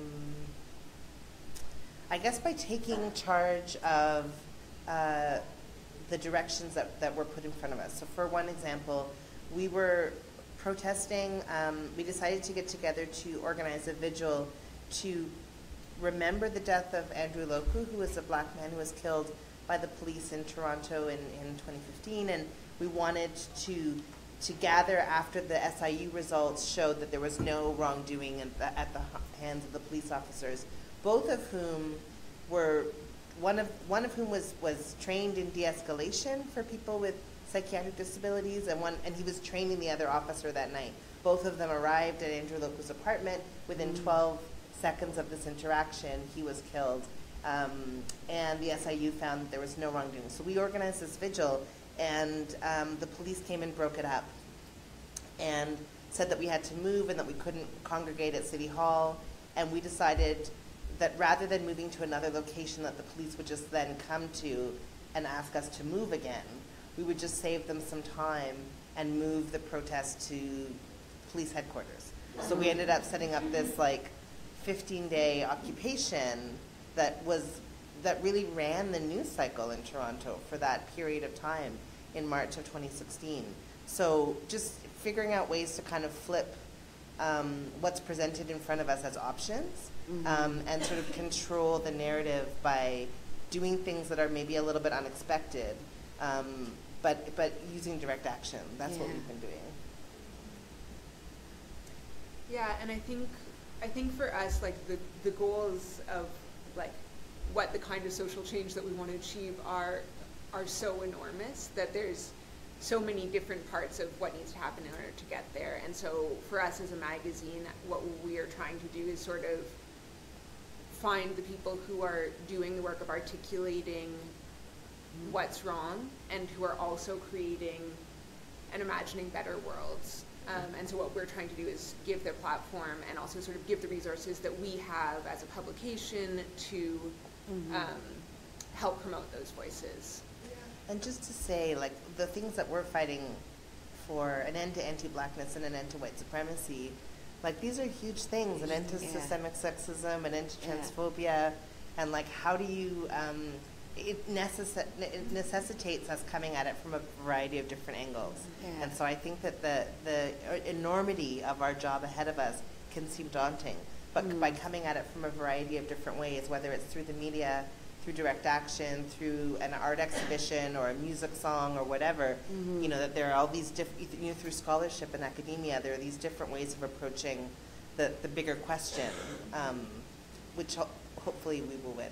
So. Um, I guess the other side of that too is how do mainstream media outlets sort of either hinder or help social activism movements and the goals that you just spoke to trying to achieve? Um, in your experience, what effect has that had? I think if I, can uh, jump in on here, I think one of the things that Syrus actually pointed to, and actually both Natalie and Syrus, is these uh, uh, the movement for social justice is huge. It's multifaceted, and it's always ongoing. It never stops. Um, but the other part of it is that the news media, if I were to focus on the news media per se, because this is about journalism, is that the news media tend to be episodic in their coverage. Right? So it's like whatever, and this was the thing about the direct action, and this is some of the things that we've done too. All of us have done this in some way, shape, or form, where we've organized, and I, I've done this to try and fill in the news hole. So knowing that the news media are going to be at a particular court, um, I will stage something at that court so that my witnesses are there to fill in whatever the news hole is. Um, in the case of the episodic kind of coverage, is it runs with you know that whole adage about if a dog bites a man, um, it's not going to get covered. But if a man bites a dog, it is going to get covered. So you're always looking for what's unusual. Where can you actually turn this around to fit into that kind of episodic coverage? But the problem with episodic coverage is that it's episode oriented. So it's, it's short term. It doesn't look at the long term. It's not a structural kind of analysis. And it doesn't look at systems until you actually bring the news media's side to it, which is in a way what the Black Lives Matter movement has done um, using digital media and social platforms. But it's also kind of when you look at the missing and murdered women, that's exactly what's happened. It was a very short episodic kind of framing, which you still see happening in the, in the sense of the coverage of the one woman, the one girl, like Tina Fontaine. But it's putting it into that context, which is why I think Guts magazine, uh, you know, and Briarpatch and all of these are, as alternative media, are so useful. But I also think that this is part of what we do in the kind of work we do, like even in terms of the work I do, writing about meta narratives, which is listen, there's a structural thing happening here, and focusing on one particular instance isn't going to do it. We need to look at what are the structural roots. What is the system in place, you know, that is actually upholding this? And I think that the mainstream media, you know, is sort of a microcosm of a larger system and structure of power. And so, you know, they're going to be as interested in in documenting a revolutionary moment as mainstream structures of power usually are.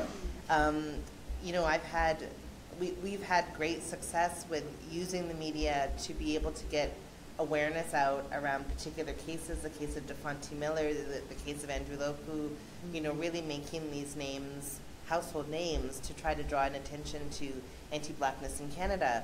But at the same time, I wouldn't necessarily say that the media and our media contacts are my allies or my comrades or my co-conspirators in action.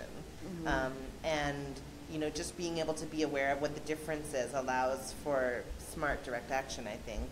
Mhm. Um, I had a, an incident. We were um, uh, very actively involved in challenging Toronto Pride in and in their anti-blackness, and we we had a little sit-in in the middle of the Pride Parade in 2016, and again we marched in 2017. And in the in-between period, there was a, a, a town hall meeting to try to address anti-blackness within the Pride organization.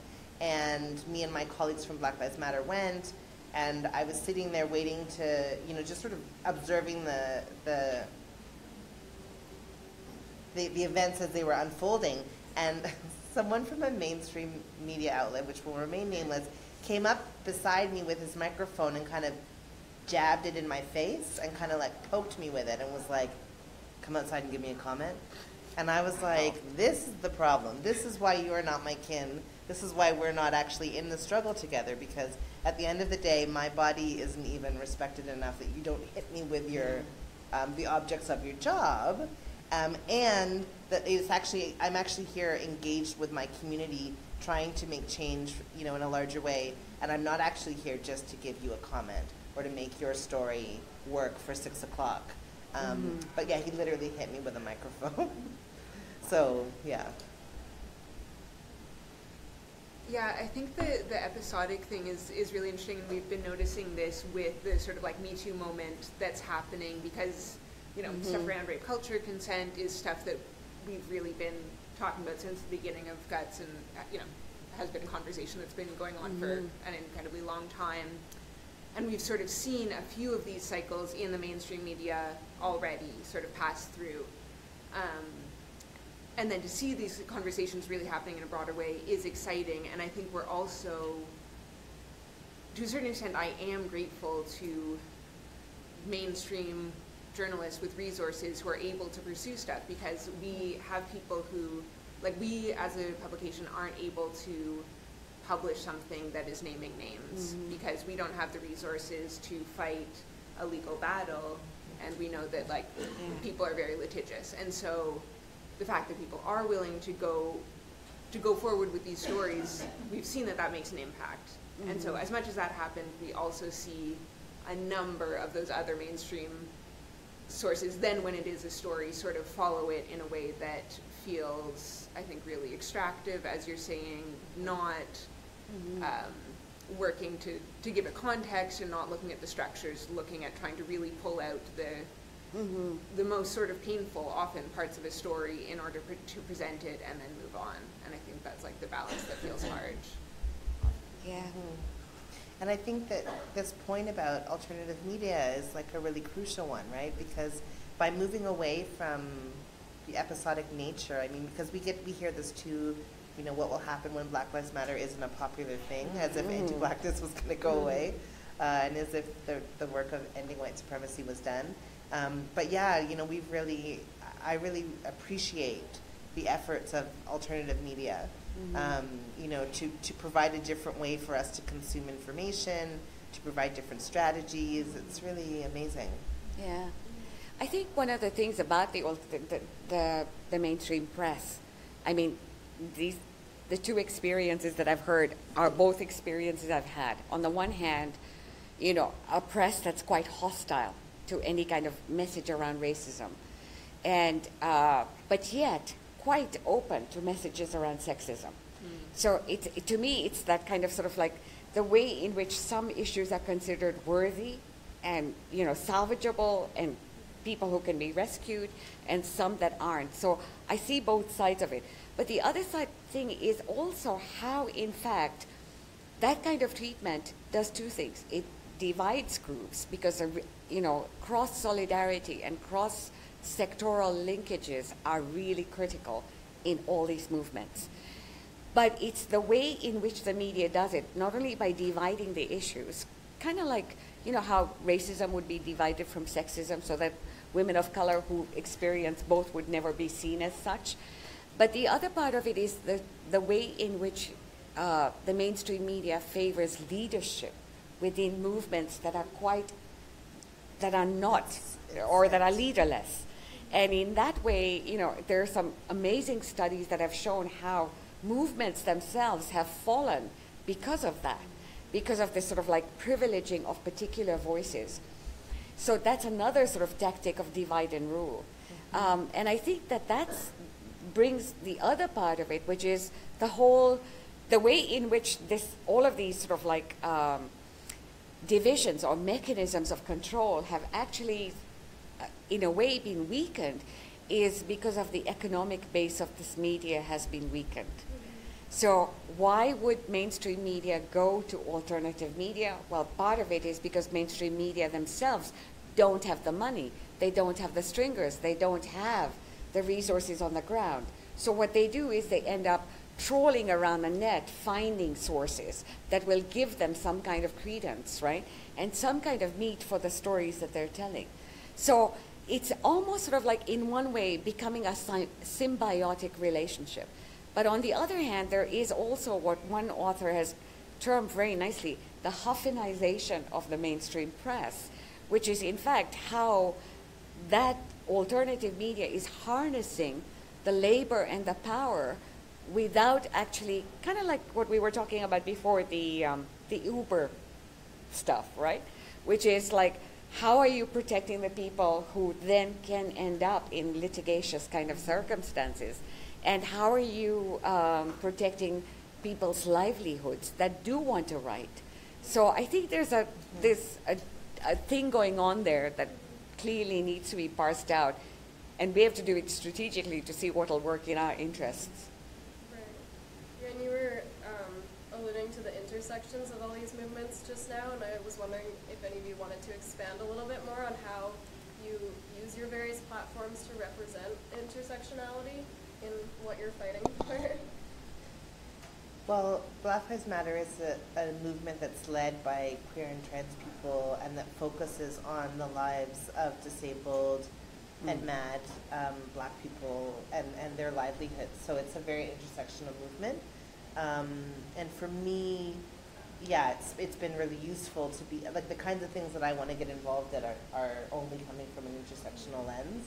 Um, and I think that where the media kind of falls down is that they just it's really hard to kind of grasp that. Yeah. And there's these missed opportunities. And when you mentioned Me Too, I mean that was a campaign that was really started decades Yeah. earlier by a black woman, but because of the lack of intersectionality and because of anti-blackness, that was missed from the story for the first couple of days, Mhm. and then they were like, "Oh yeah, oh oh, actually, this was already this thing." Mhm. So, um, but anyways, with Black Lives Matter, we have, you know, tried to sidestep some of the pitfalls of earlier Black activism by having a very intersectional movement from the beginning, um, and again, you know, what how that sort of doesn't get translated through the media resulted in when we did our protests in the Pride Parade, you know, tremendous amounts of extreme racism through online media saying, "Why are you at our parade? Mhm. You should go to Caribana." As if black queer people didn't exist, as if black trans people didn't exist, as if I mean I had been volunteering for Pride since 1998 at that point, you know, and while people were throwing water bottles at me, I was like, well, actually, what were you doing in 1998? I mean, it's pretty boring sometimes doing all of the volunteer grunt work, but we have been here. We actually started a lot of the foundational movements, including Stonewall. Black trans Mhm. people did that. So, but because of the misunderstanding or the misunderstanding of, of who and what and uh, concepts of intersectionality, they saw us as black only Yeah. and they saw you know queer communities response as queer only and Mhm. by queer only they meant white right so anyways Mhm. mm. In my work, the way that I look at intersectionality is is the sort of like these intersecting sites, in a way, of uh, not identity so much as categories. You know, the categories that are imposed. So, so in the work that I've done and, and that I've put out in Briarpatch and a number of other places, I've compared the way in which the press looks at um, the missing and murdered indigenous women and also the Afghan women, showing in fact that there's a valence that's operative here in terms of what's a worthy victim that we can go out and rescue and what's an unworthy victim. So that's one example. The other one is looking at the ways in which the mainstream media portray Muslim youth and indigenous youth and seeing how, in fact, different colonial logics are operating to make one seem like the threat of a terror threat from the outside that has to be expelled, and the other uh, a threat from within that is really, you know, uh, that fits into the whole logic of the vanishing race. Look, what, look what they're doing to themselves, kind of thing. So it's bringing those things together to show, in fact, that what's operating here is these categories are often being used in a really strategic way to reinforce a central ideological premise, a valence of power.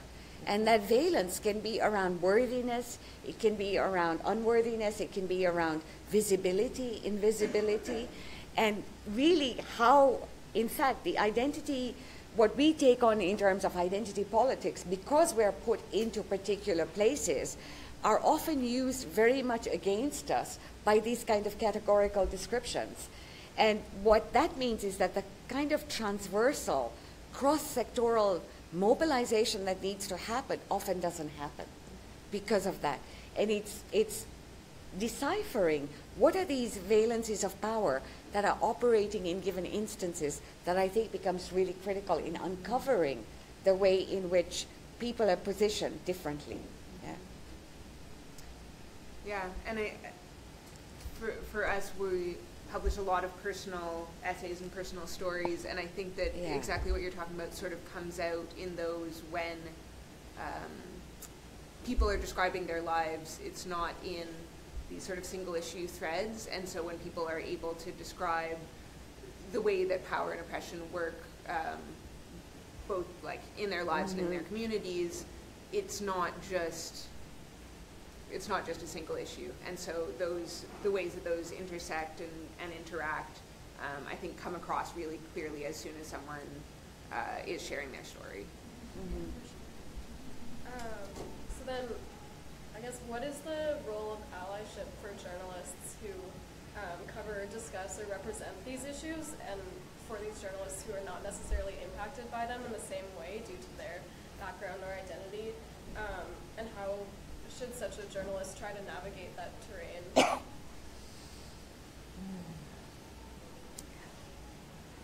I think allyship becomes really problematic in one sense because to have an ally, you have to have an equitable relation, balance of power, right? So if a journalist is inside an organization and that organization only valorizes particular kinds of quotes that are from particular kinds of spokespeople, which we know in the news tend to be people who are who have legitimized authority, right? I, I, I realize this as a university professor. I have more authority in terms of saying something, and it's going to be reported more likely than somebody who's on the street. So there are all of these sort of like aspects of legitimacy and power and that are entrapped in that position. So how then does the journalist do that? And I, the one exa- successful example that I've seen, actually two, uh, one was around the missing and murdered Aboriginal women. The, the whole story that began in British Columbia began with a couple of journalists who were realizing and who were connected to the communities that, hey, there's all these, these women that are missing, and what's happening here? And so they took it upon themselves to actually start an investigation. It wasn't something that was sanctioned by their paper, they just started. And they started writing about it. So even though they were constrained within the episodic frames, they continued and continued and continued. And I think that was what created that, you know, and then everybody else kind of joined in, and, and that created that whole sort of wave of uh, attention that was brought to that.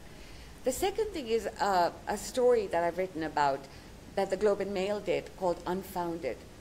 And it's all the cases of uh, the sexual assaults that the police had found to be unfounded. So the Globe actually commissioned its own reporters to take on this massive in- investigation. And what they uncovered was incredible, actually, in terms of how the police were not taking these women seriously. But the Globe, with the power that it had behind it, was able to galvanize this to an extent where they were able to call uh, on the RCMP to change. They then sort of like went to the to the politicians, and the politicians had to respond.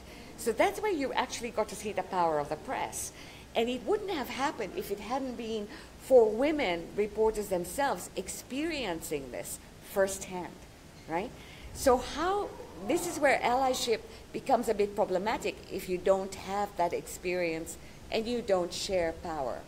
And if I were to look at a, a, classic example in anthropology, because this issue has come up in anthropology, is how does the field worker or the investigator who is out there in the field tapping into the stories of all these people actually acknowledge the stories that he or she is collecting? And one way would be in terms of co authorship, right? So it's how do you actually bring people in to tell a story? And that becomes a very powerful way, particularly when you think about how to counter the Huffanization of the news.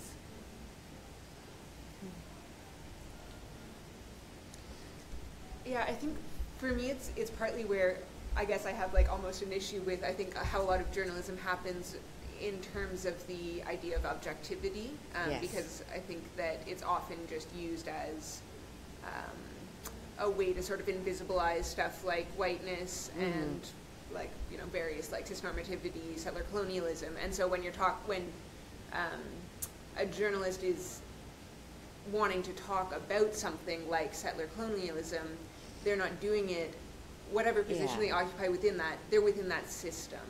Um, if they have more power within that, they, they're still operating within it. And so the idea of uh, coming at anything just completely neutrally, I think, isn't impossible. possible. Yeah. And so for me, the, the best way then to do that is to recognize what position you occupy within that and what you're bringing to the issue that you're covering and doing the amount of research that you need to do in order to adequately Yeah. address it, but I'm not sure that's always enough. Yeah. And I, I mean, the only thing I would add to this is to say that, I mean, yes, all of these things in relation to power and opportunity and, but, but I mean, fundamentally, um, without, the reality is, is that the majority of reporters are not from marginalized, the marginalized communities that we're trying to, that we're talking about here. Um, and so as a result, you know, the majority of reporters are from sort of dominant positions of power. And if they're not able to take on doing the radical work that their paper requires them, then they're actually just not even doing their job, mm-hmm. right? And that, that actually is a fundamental flaw. There's a flaw in the school system. If the school system is not teaching journalists to come out with a kind of critical analysis and the kind of you know engaged understanding of anti-oppression values that allows them to be able to dive into these stories mm-hmm. then there's a, there's a fundamental flaw. Because otherwise the alternative is what we see happen which is where there's the one reporter of color Yes. who gets assigned to every single thing that has to do with race mm-hmm. gender trans stuff pride. I don't know, the, anything that's like not white, cis, heteronormative, they get du- everything else gets dumped onto their plate, and that actually is, I think, also a failing, right? Mm-hmm. So um, we need to better support journalists of color, absolutely, but we also need to ensure that all of the journalists that are coming into these environments are actually equipped to be able to do this work. That notwithstanding all of the conversations around privilege and around mm-hmm. access to power, because I think that those are so beautifully articulated. Mm-hmm. Yeah. For sure. But I think that there's another element to it, which is like the journalists of color that are in there that bear the burden of representation, right? That's how Kobena Mercer called it. The other part of that is also the fact that within newsrooms there is a culture. And people have to toe the line of that culture. And if they don't, they actually get whacked really badly. So their jobs are usually tenuous. Uh, they get treated very badly. They get ostracized. They're not part of the in group. You know, the same thing that happens in any total institution, right? Even the academy. So, how then do you support the journalists that are within that are telling these stories?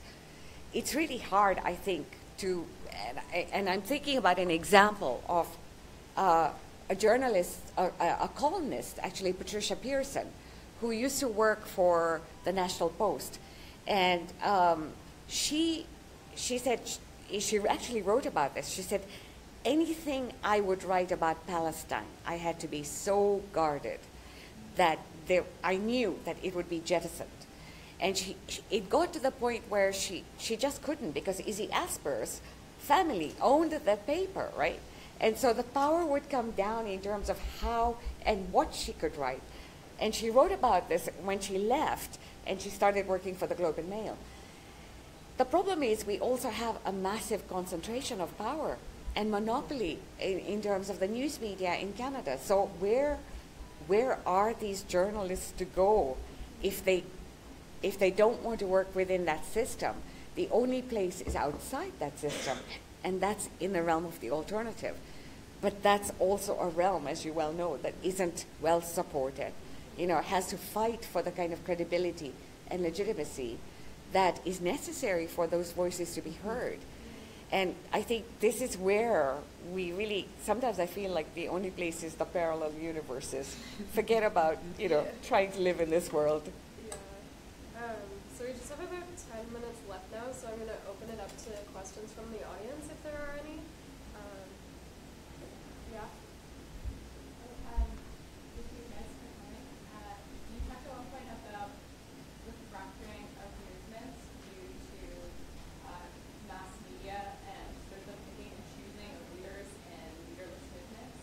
Um, how has that been an issue in Black Lives Matter from? Because from following you guys from the outside, I know that there are certain voices that the media will go to because they, it seems that they don't have the sort of volition to seek out the diversity of voices and how guys, how have you guys struggled to shift that narrative? Well, fundamentally, I mean, the Black Lives Matter movement is an example of the very thing that you're describing, right? Because you have, you know, at least 500 years of black resistance on this continent, for sure a very active 50 years of black organizing and black radical tradition. Um, but when Black Lives Matter came around, the media reported on it, maybe because of the episode, as if it was a brand new Mhm. thing, as if this was new and never been done before, or, or following the lines of the one and only speech that Martin Luther King ever wrote, as if he wasn't a pro- prolific scholar. Anyways, uh, so I think that one of the things that we there's a, a group, electronic music group in Toronto called LAL, and they have a line from one of their songs, Brown Eyed Warriors, where they say, "It's not all we've got, but they still can't figure this shit out." And it sort of is talking about how within activist movements we actually have so many resources and so much creativity um, that the state knows about one percent of it, and they still can't figure out what we're doing. And so I think that when we get those requests from the media, they do tend to not only just focus any conversation around blackness, just specifically asking us as Black Lives Matter Toronto to give a comment when there are actually many black groups that they could contact. Even within our own steering team, there's certain people that they will always ask for comment without realizing that we're a collective. So the media requests actually come to all of us, and so we chuckle and laugh, and then we decide who's willing to take on talking to that reporter today, whether they ask for Sandy or they ask for me. If we decide they're getting me, they're getting me, you know? So um, that's been one of the things that we've done as a strategy is to just try to interrupt some of those direct lines that they try to, you know, carve into, into stone. Um, but I think fundamentally there are, there are countless groups that they could contact, but they actually haven't done the groundwork or legwork to get connected with other black activist groups so that we are sort of the, the main go-to. Mm-hmm. Yeah, sort of on that, I was just wondering about what the role of education is in activism, um, and not just like in terms of the academy, but in terms of like education, um, in terms of one's own, like the history of one's own movement, or the history of one's own community, um, that kind of, or, or just like the, like education of activism. I just was wondering about that. I wish there was schools you could go to where you could just study activist culture. Uh, but I think, I mean, the generation that I grew up in, certainly in the 90s, it was very uh, built in that you, you would take direction from older activists and that you would seek out knowledge and information from activists who had already done work before. I don't know that that's necessarily true anymore, but that was definitely true when I was coming up. And so um, but I mean, anyways, I think if you're on your own and just trying to do your own research, it's really difficult because, uh, you know, Donna Haraway writes about the unarchivable, and activist movements are inherently unarchivable. It's really difficult. For a lot of very strategic reasons, we've tried to make sure that our names aren't recorded and that certain events aren't recorded, but also they're just ephemeral, you know. Activism is very ephemeral. So, um, you know, without a sort of a, an archive, of activist movements, it can be really tricky to find out information. One example is, you know, in the last 20 years, public perception, because of the media, of the Black Panther Party has almost completely changed. Mm-hmm. So when I was doing organizing in the 90s, and we were organizing around anti-blackness, and I was very interested in the Black Panther Party, mm-hmm. there was this d- dominant mainstream narrative of the Black Panther Party as being a very negative thing, that they were terrible, that they were terrorists, that there was da da da da da da da, right? Whereas now, 20 years later, the news cycle has changed, and now we talk about their free health programs and the free free breakfast programs, and like just the public perception of the Panthers has completely changed, even though the things that they've done actually haven't changed at all. The facts and the history is there. Mm-hmm. But again, 20 years ago, without the internet, it was really hard to get information. We knew that they had done great work. It was really difficult to find out in history about, about our movement in that way. Now there's information, but you know, I'm, I'm always wary. I mean, Wikipedia articles can change any time, right? So, anyways. Did either of you want to add to that? Or? No, I think that's a brilliant example, and I'm, I'm actually thinking that maybe the whole the, the new Black Panther movement, uh, the film that's Yeah. out, it may be actually a way in which you, uh, in a way, to trivialize this. You know, because that work, yeah, because that was the thing. It was at that time when it came out. It was a, it was a movement that so uh, terrified the U.S. government because this is like a not only an armed movement, but a disciplined movement, you know, with trying to create exactly the same thing, a parallel world. They weren't going to get equity, they weren't going to get recognized in the white world. They were going to create their own. And that's how it became such a threat. And so thinking about how it's it was actually archived. One of the interesting things about the Panther is that the, the movement itself is that all the the uh, its newspapers are actually available Yeah. online in PDF form, so you can actually see this. But the way in which it was done, where you created your own symbols, and you uh, you used you, you created your own language actually, and how this was done. So there's an enormous amount of information there, but the question is what's coming out. So the, it's funny that you would say that because here you don't hear about the free breakfasts and all of those programs that were part and parcel of this movement. But in Toronto, you would. Yes. So it's like where, in fact, is this information revolving? That becomes a really important thing, right? But then again, thinking about okay, so so now you've got this Marvel comic, which was apparently a comic even at that time, um, coming out now in this fully fledged film. How many of you have heard about it? The Panther film. That's yeah, that everybody wants to go out and see. And whether it's yet once again a kind of reworking of this and a way to demythologize and uh, evacuate the revolutionary potential Of that was in that, right? He's been waiting for a while. No, well, I was just going to ask about, uh, you, um, you mentioned exit strategies, right? Like in terms of how the media can pull out of the story, you know, like they lack an investment on their part, uh, or they don't really have the incentive to cover the story. Um, and, and this goes for anybody on the panel as well. Um, so what kind of uh, devices or strategies have worked to make it harder for these uh, organizations to leave those stories alone, to uh, really disentangle themselves from those stories? So, from which, uh, from the perspective of the organizations that want the news attention, or from the perspective of the news organization that wants to withdraw? Well, I mean, like on the perspective, like uh, what uh, you all have been doing to combat that um, tendency to pull away from these stories, pull like uh, uh, stick to that episodic approach. You stage events. Yeah. That's what you do. you stage events. So you know what's newsworthy. You use the criteria of newsworthiness against the organization itself. So you try and do things like, for instance, you remember here when the student protests were happening, you remember the casseroles? That whole thing that was, that was precisely about that. The symbol of the maple leaf was precisely about that. So you, you try and use the cultural symbols that are there, because that's the only arena you can play in, to actually mount something that will capture that attention.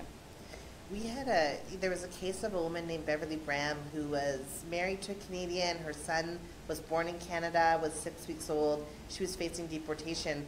Couldn't get picked up by the mainstream media at all. In part because they are, you know, in general quite slow about covering uh, deportation cases, but you know also in, in this particular case. And so what we did was we knew that they needed a story uh, by nine, you know, by sort of the morning cycle. Um, we knew that the morning was a really busy time in Toronto when we could probably get everybody's attention. And we knew that Yonge and Bloor was the main intersection that everybody sort of uses to commute in the morning. And so it's also one of those intersections where you can cross on the diagonal. So there's a, a period of time when it's an all-way cross, so that there's no cars in the intersection. So we um, went into the middle of the intersection at that time, set up a press conference, put a table down, put chairs, and rat-a-tat-tat. Yeah. We secured the intersection with protesters, and we had a press conference with Beverley Braham, with her son in her arms, with her husband, with representatives from No One Is Illegal and representatives from Black Lives Matter, and we notified the media ahead of time. And of course, they, I mean, they didn't want to cover Beverley Braham that day. That's the last thing on there what, of what they wanted. They could not ignore it. There was no way to ignore a protest in the middle of the intersection at Yonge and Bloor at 8.30 in the morning, right? So it was just being very aware of what their requirements are and what's on their, what, what they need, and then figuring a way for us to provide some of that content. um, in our on our own terms. It doesn't always work, I might add. It doesn't Yeah. always work because I remember the the uh, one of the things that the women's movement used to do. And this is where you get you have to know what what is happening. You have to know what different things mean. But the women's movement um, in the 90s, uh, 80s and 90s, what they would do in Canada is they knew that when the budget was going to be unveiled, the tradition was that the Minister of Finance would have to go and buy a pair of new shoes. This is the thing. We, if you don't know this, it doesn't make sense. So on that day, what all the women's organizations across the country would do is they would gather from beforehand all the old shoes, everybody's old shoes. And they and you know you can send this stuff free to Ottawa, right? If you're sending it to a minister, you can send it free. They would just ship all these shoes and the minister's office would be flooded with these boxes of old shoes. And it was a signal to say that we as women are waiting to see what are you going to do in terms of this budget that is actually going to, you know, figure our needs into account or take our needs into account. It didn't always work because again, you need to know that this is a tradition. You need to know what shoes mean and so forth. So it's like knowing the lay of the land becomes really critical. And it, it's like knowing that, okay, this particular intersection, if you don't grab it, you know, that's not, it's not going to work otherwise, right? Yeah, so unfortunately, that's all the time that we have for today, but thank you so much, Syrus, Yasmin, and Natalie for sharing your knowledge with us today. And thanks to all of you for coming out to our journalism conference. Um, right after this, in this room, we have Ciro Scotti, uh, former editor at Bloomberg, um, Businessweek, and Reuters. Um, so he'll be giving a lecture in here. Um, and we'll also be having our mixer on Wednesday at 8 p.m. in Gert's. Please come to that. And thank you so much for coming. It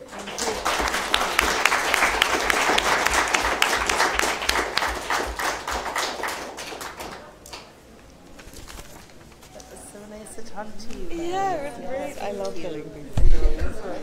Well, it's, yeah, it's so interesting to be like, yeah, introducing all this. Yeah. It just makes me feel like, yeah, we can do this. We oh, can do we it, got right? this. We got this. One hundred percent. Yeah, we can keep going for another hour or two at least. Yeah. But I really think we're gonna we're gonna make it. We, I mean, we're already in the middle of a revolutionary moment, so Yeah. I Yeah. feel enthused. Yeah. And I feel like we should send shoes. I feel like Yeah. we should just. This is a part of the thing of what happens I- when you don't. That was so brilliant. When you don't have the um, connection to historical movements Mhm. or some of the minutia of what happened, Yeah. because that would be something that everybody should know about, Yeah. Yeah. and that you could borrow and, and play out in new ways. Anyways. Yeah. Sorry, I don't want to keep you up. We have one more. Uh, Yes. event. Yeah. Um, I'm Nick, by the way. Nick, Syrus. here. So Thank many you. emails. Great to meet you. Thank you so is for you. much. So, Thank so, you so much. thankful for coming out. And yeah, the Yeah, conversation. it'll be great. I haven't gone there yet. great. 'cause the Oh, train okay. was Yeah, really yeah, late. yeah. But uh, I'm gonna head there now. Thank you so much for coming. That Yeah, fantastic. thank you. That was so interesting. Hi, I'm you. Deidre Hi, Syrus. Nice, Nice to meet you. Yes, so Joanne. Interesting. I put your point about Black Canyon. Um, Public Radio in, in uh, New York. Oh, okay. Uh, trivialization of, you know, Yeah. I hadn't thought about that, but really interesting. That and how much the story resembles a Roots kind of story, right? Yes, right. Yeah. Uh, so, if I may, I'll reach out to all of you at Of some course. point, uh, reporting stories and some Yeah. reporters too, and, and you can direct us to anyone you want to direct us. to. It's a pleasure. Syrus, great to meet you. So and I great to hope meet that you. we can I hope our stay in touch. again. Yeah, yeah, yeah. Yeah, I would For love sure. that. Okay. You're on the. Are you on the email? Yeah. Yeah. So on the, the about the panel. So I Yeah. have your email. Yeah. Yeah. Yeah. yeah, so nice to meet you. Uh, into the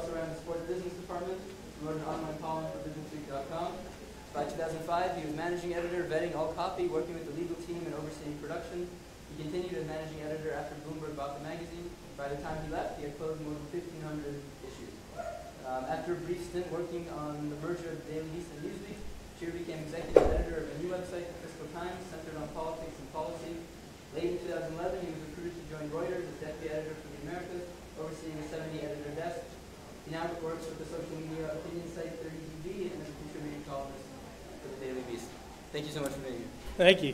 Thank you. Good evening. And uh, thank you, Nick, for inviting me um, this, to this intimate gathering. uh, I'm not a great public speaker, so I'm going to have to read.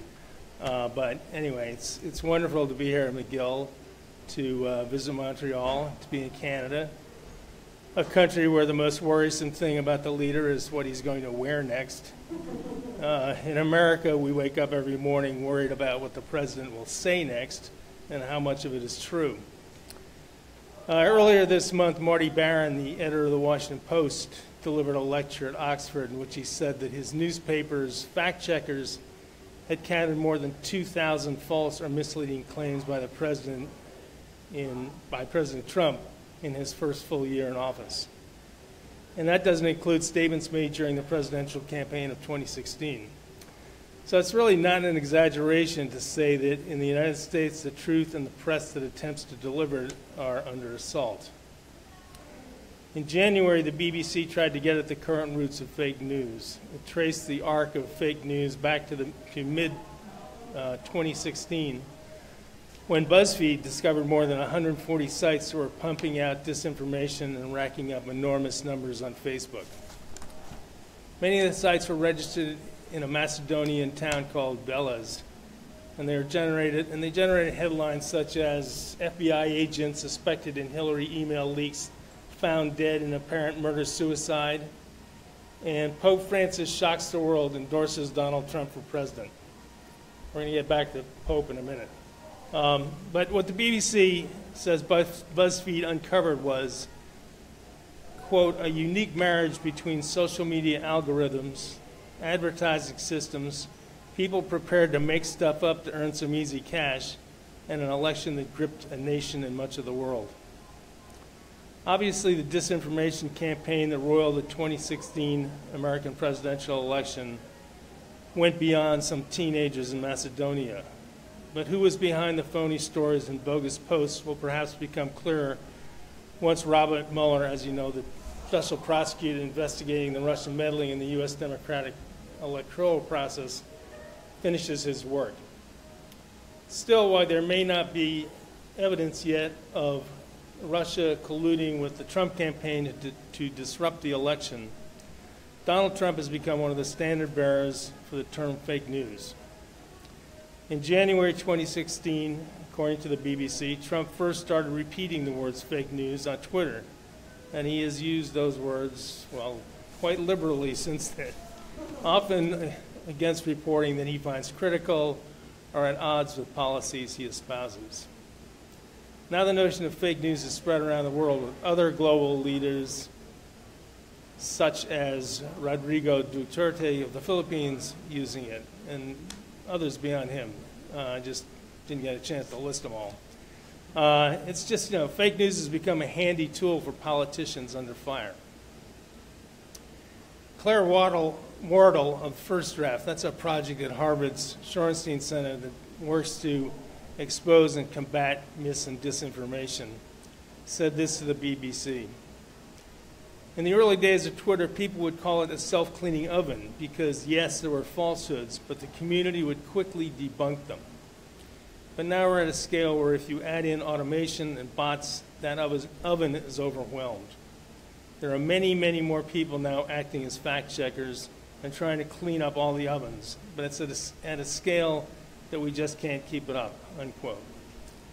So, how do journalists deliver news that can stand up to daily efforts to subvert the truth by people in power and ideological troll, trolls with an axe to grind? Excuse me.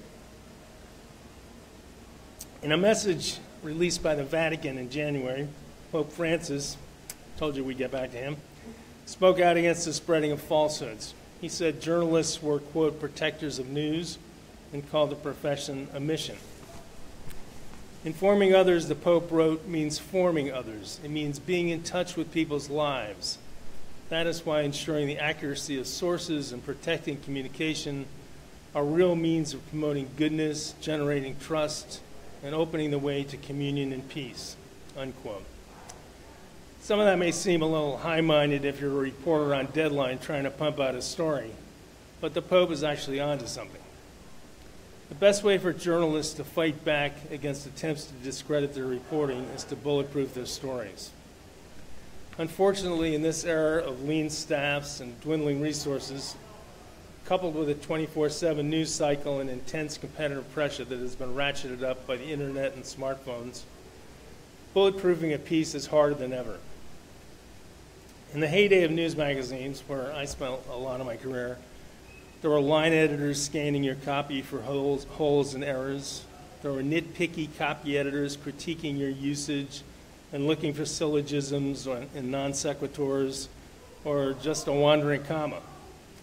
There were researchers and fact checkers eager to poke holes, and then there were top editors who took delight in demonstrating their superior knowledge. But what was produced, if done properly, could be irrefutable, was irrefutable actually in many, most cases, uh, the magazine I worked for, which is when I worked at Businessweek, now Bloomberg's at Businessweek, the slightest error that got into print was taken seriously because a sloppy mistake or, you know, God forbid, a factual error was thought to raise questions in the mind of the reader about the veracity of the entire story. Getting to that level today is difficult if you're not working for the New York Times, Washington Post, Bloomberg, Reuters, or some other publication or site that still has significant resources. But it's not impossible. For a sensitive story, you should always strive for multiple sources. Two can be acceptable, three or more is better, one doesn't cut it. You should always have an eye out for legal issues also. while spell check is great, having the person at the desk next to you give your copy a read can be invaluable.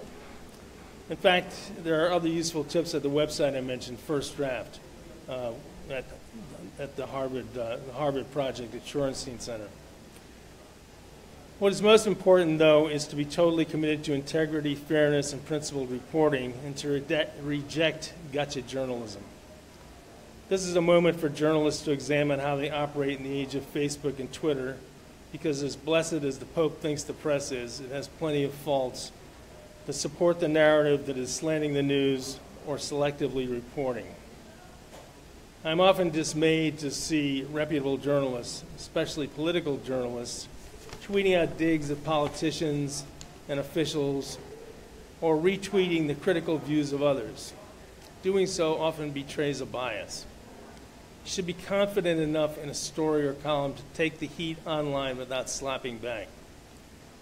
Recently, I wrote a column in the Daily Beast about Kirsten Gillibrand, the New York senator who seems to be positioning herself for a presidential bid in 2020. I suggested she was running against the political zeitgeist by flip flopping on a number of issues. But many on Twitter took it as an attack on her because she had led the effort to oust Al Franken from the Senate over allegations of sexual misconduct. And there was a barrage of tweets accusing me of not being comfortable with strong women. My wife's favorite comment was, What's the matter? Was mommy mean to you? but I kept quiet because unless you are accused of being factually inaccurate, there's no future in going to war on Twitter. However, it's not just tweeting and retweeting that raises questions about journalistic fairness and standards. Oprah Winfrey, an enormously successful entertainer and business person, is now a special correspondent on 60 Minutes. Why is that okay? On one channel, she can be reporting for the most venerable TV news program in history. Click the remote, and she's hawking, oh, that's good mashed potatoes, one of the items with a touch of cauliflower in her new prepared food line. In addition, she has been spoken of as a possible presidential candidate. She's traded barbs with Trump online, and she's been a forceful supporter of Democrats. If Trump is criticized for not fully divesting his business interests while president, why is it acceptable for Oprah to be running money making businesses while acting as a so called journalist? That's the sort of double standard that undermines the press and provides ammunition to its critics. With all the lies, disinformation, and twisting of the facts, there's a hunger, grow, there is a growing hunger out there for truth. Recently, I talked with Dov Seidman, whose firm LRN helps corporations, corporations raise their standards. In the climate we are in, he sees integrity and principled behavior as a competitive advantage. He wrote a book about 10 years ago whose title now really resonates. It's called How Why How We Do Anything Means Everything. I believe that for journalists, Seidman's message is doubly important because how we do journalism these days means everything. Thank you.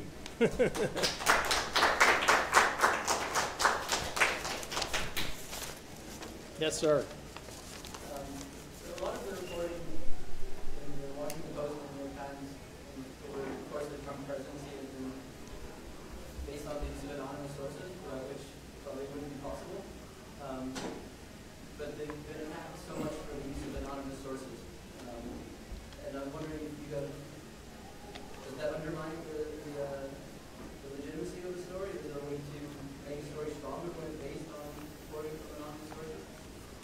Well, you know, I think you're right. Some of these stories would not be taking place if it weren't for anonymous sources. And of course, it's always better to get people on the record. But you know, it's a it's a tricky business, anonymous sources, especially in Washington.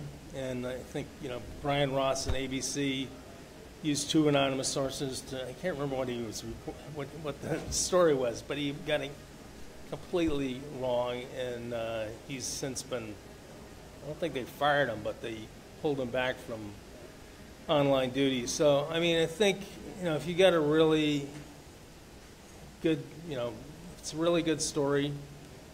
Um, it has, you know, implications for government poli- policy. Um, you know, you use anonymous sources judiciously, and um, you, you know, you, you can't just use one. As I said, you can't. You know, you really need more than more than three for a story like that. And even you know, in these days, you know, like the Times will have, and the Post will have five or six people within the administration. Um, you know, and it's. I think it's, that's a judgment the editors have to make. Is this story worth, is, is what we're going to impart to readers, is it important enough? Is it worthwhile? You know, is the reputational risk worthwhile? Yeah. Uh, so you talked about the Oprah Winfrey effect, um, and we're hearing this right now from all types of journalism, like in sports reporting. Um, there's a big journalism school at at Concordia, which is another big open school in Montreal, and their young sports reporting students are having a really hard time because now in the industry they don't want to hire sports reporters, they want to hire former athletes, they want to Mhm. hire personalities, and like we've seen in the U.S. this tremendous success with partisan uh, news coverage, and with yeah, I mean especially as journalists have to have this online profile, people are hungry not just for journalists but for media personalities, and that's only growing.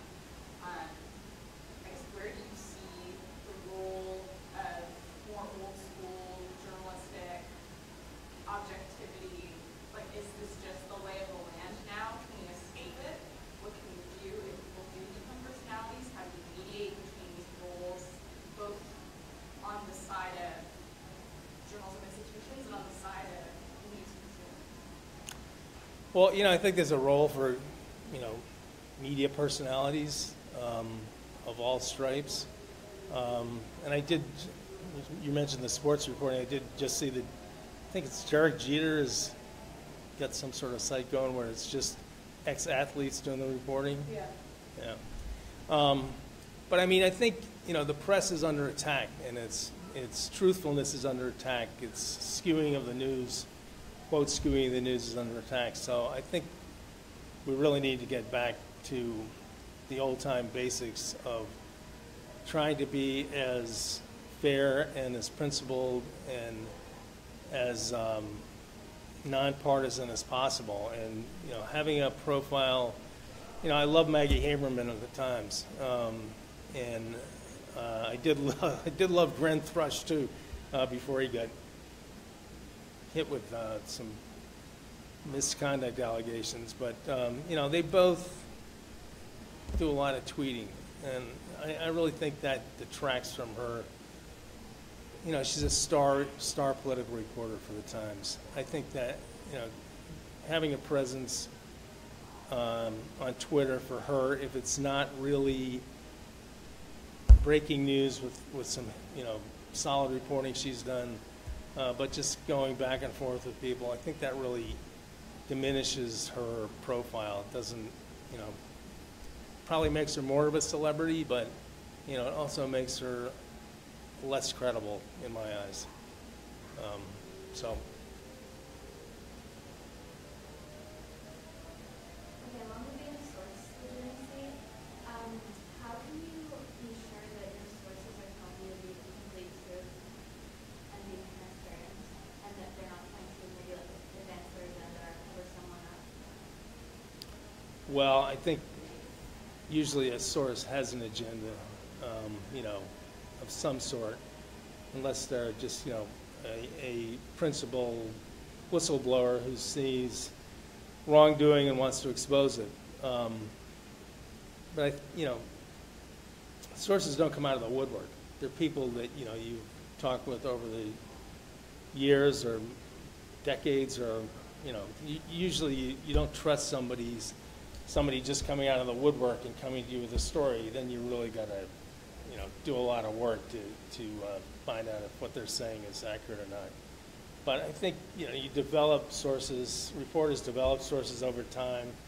They, you know, they rely on their experience with that source to to say, you know, is this person trustworthy or not? But, you know, and also to to to understand what their agenda is, to understand where they're coming from.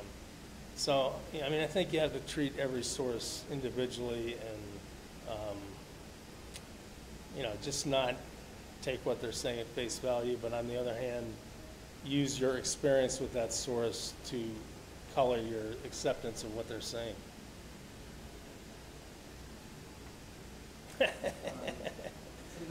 We can have this conversation at a bar, you know. The, uh, best thing to do is have two or three sources. Um, I'm I'm sure you heard about, um, um, who's, um, what was the, the, the guy who just lost in Louisiana?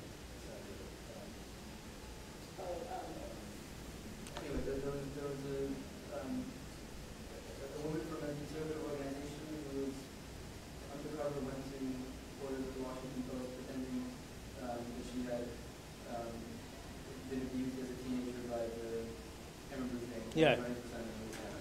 Um, but that was a false story. Right. The, the point of it was to attract the supporters for the Post. On a story like that, where it's a personal experience and there are not you can't have a second source for something that happened to you who live in the back of his car in the seventies. How can you still, they, like, they, they caught her because she lied about some address and they checked the address. Well, I think they caught her because she had been hanging around Washington Post events, like, you know, going away parties and things like that. And so they, they were suspicious of her to begin with. And then they actually, actually tailed her, I think, and found her going into the offices of um, that guy, that guy, that young guy who, uh, you know, does the right-wing videos, oftentimes, you know, staged. Um, so, you know, I think somebody comes comes with you, like I said, someone comes with you out of the woodwork. I mean, she's coming, not coming out of the woodwork. She's someone that these reporters were like, you know, this woman's, you know, something shady's going on with her.